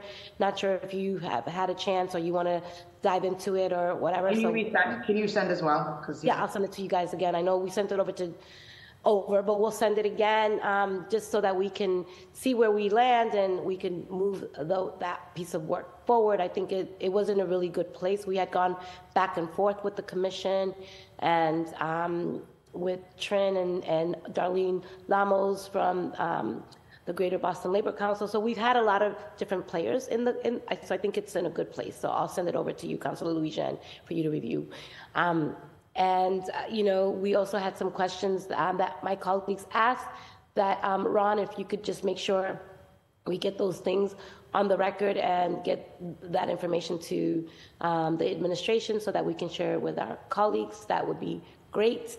Um, and then just in terms of, of um, next steps, I think, you know, obviously this is a, this is a, it feels like a ceremonial thing that we do. It's part of the, it's part of the uh, uh, ordinance, but I, I do think that we don't have to wait to be told to do an audit and to have a conversation. I feel like we need to get out of the habit of just doing things because just checking off boxes. Like literally, we have to do this in April and we have to do it in October. But I don't think we should have to wait to have to do something to actually do something. So my hope is, is that we'll continue to be engaged in what this could look like so that we can move the work forward. And Ms. Hood, I see you have your hand up, and I'm not sure if you wanted to say one more thing. Okay, good. All right, so um, with that, I am going to um, thank you all again for participating, and um, this uh, hearing is adjourned. Thank you all. Thank you. Thanks, everyone. Thank you.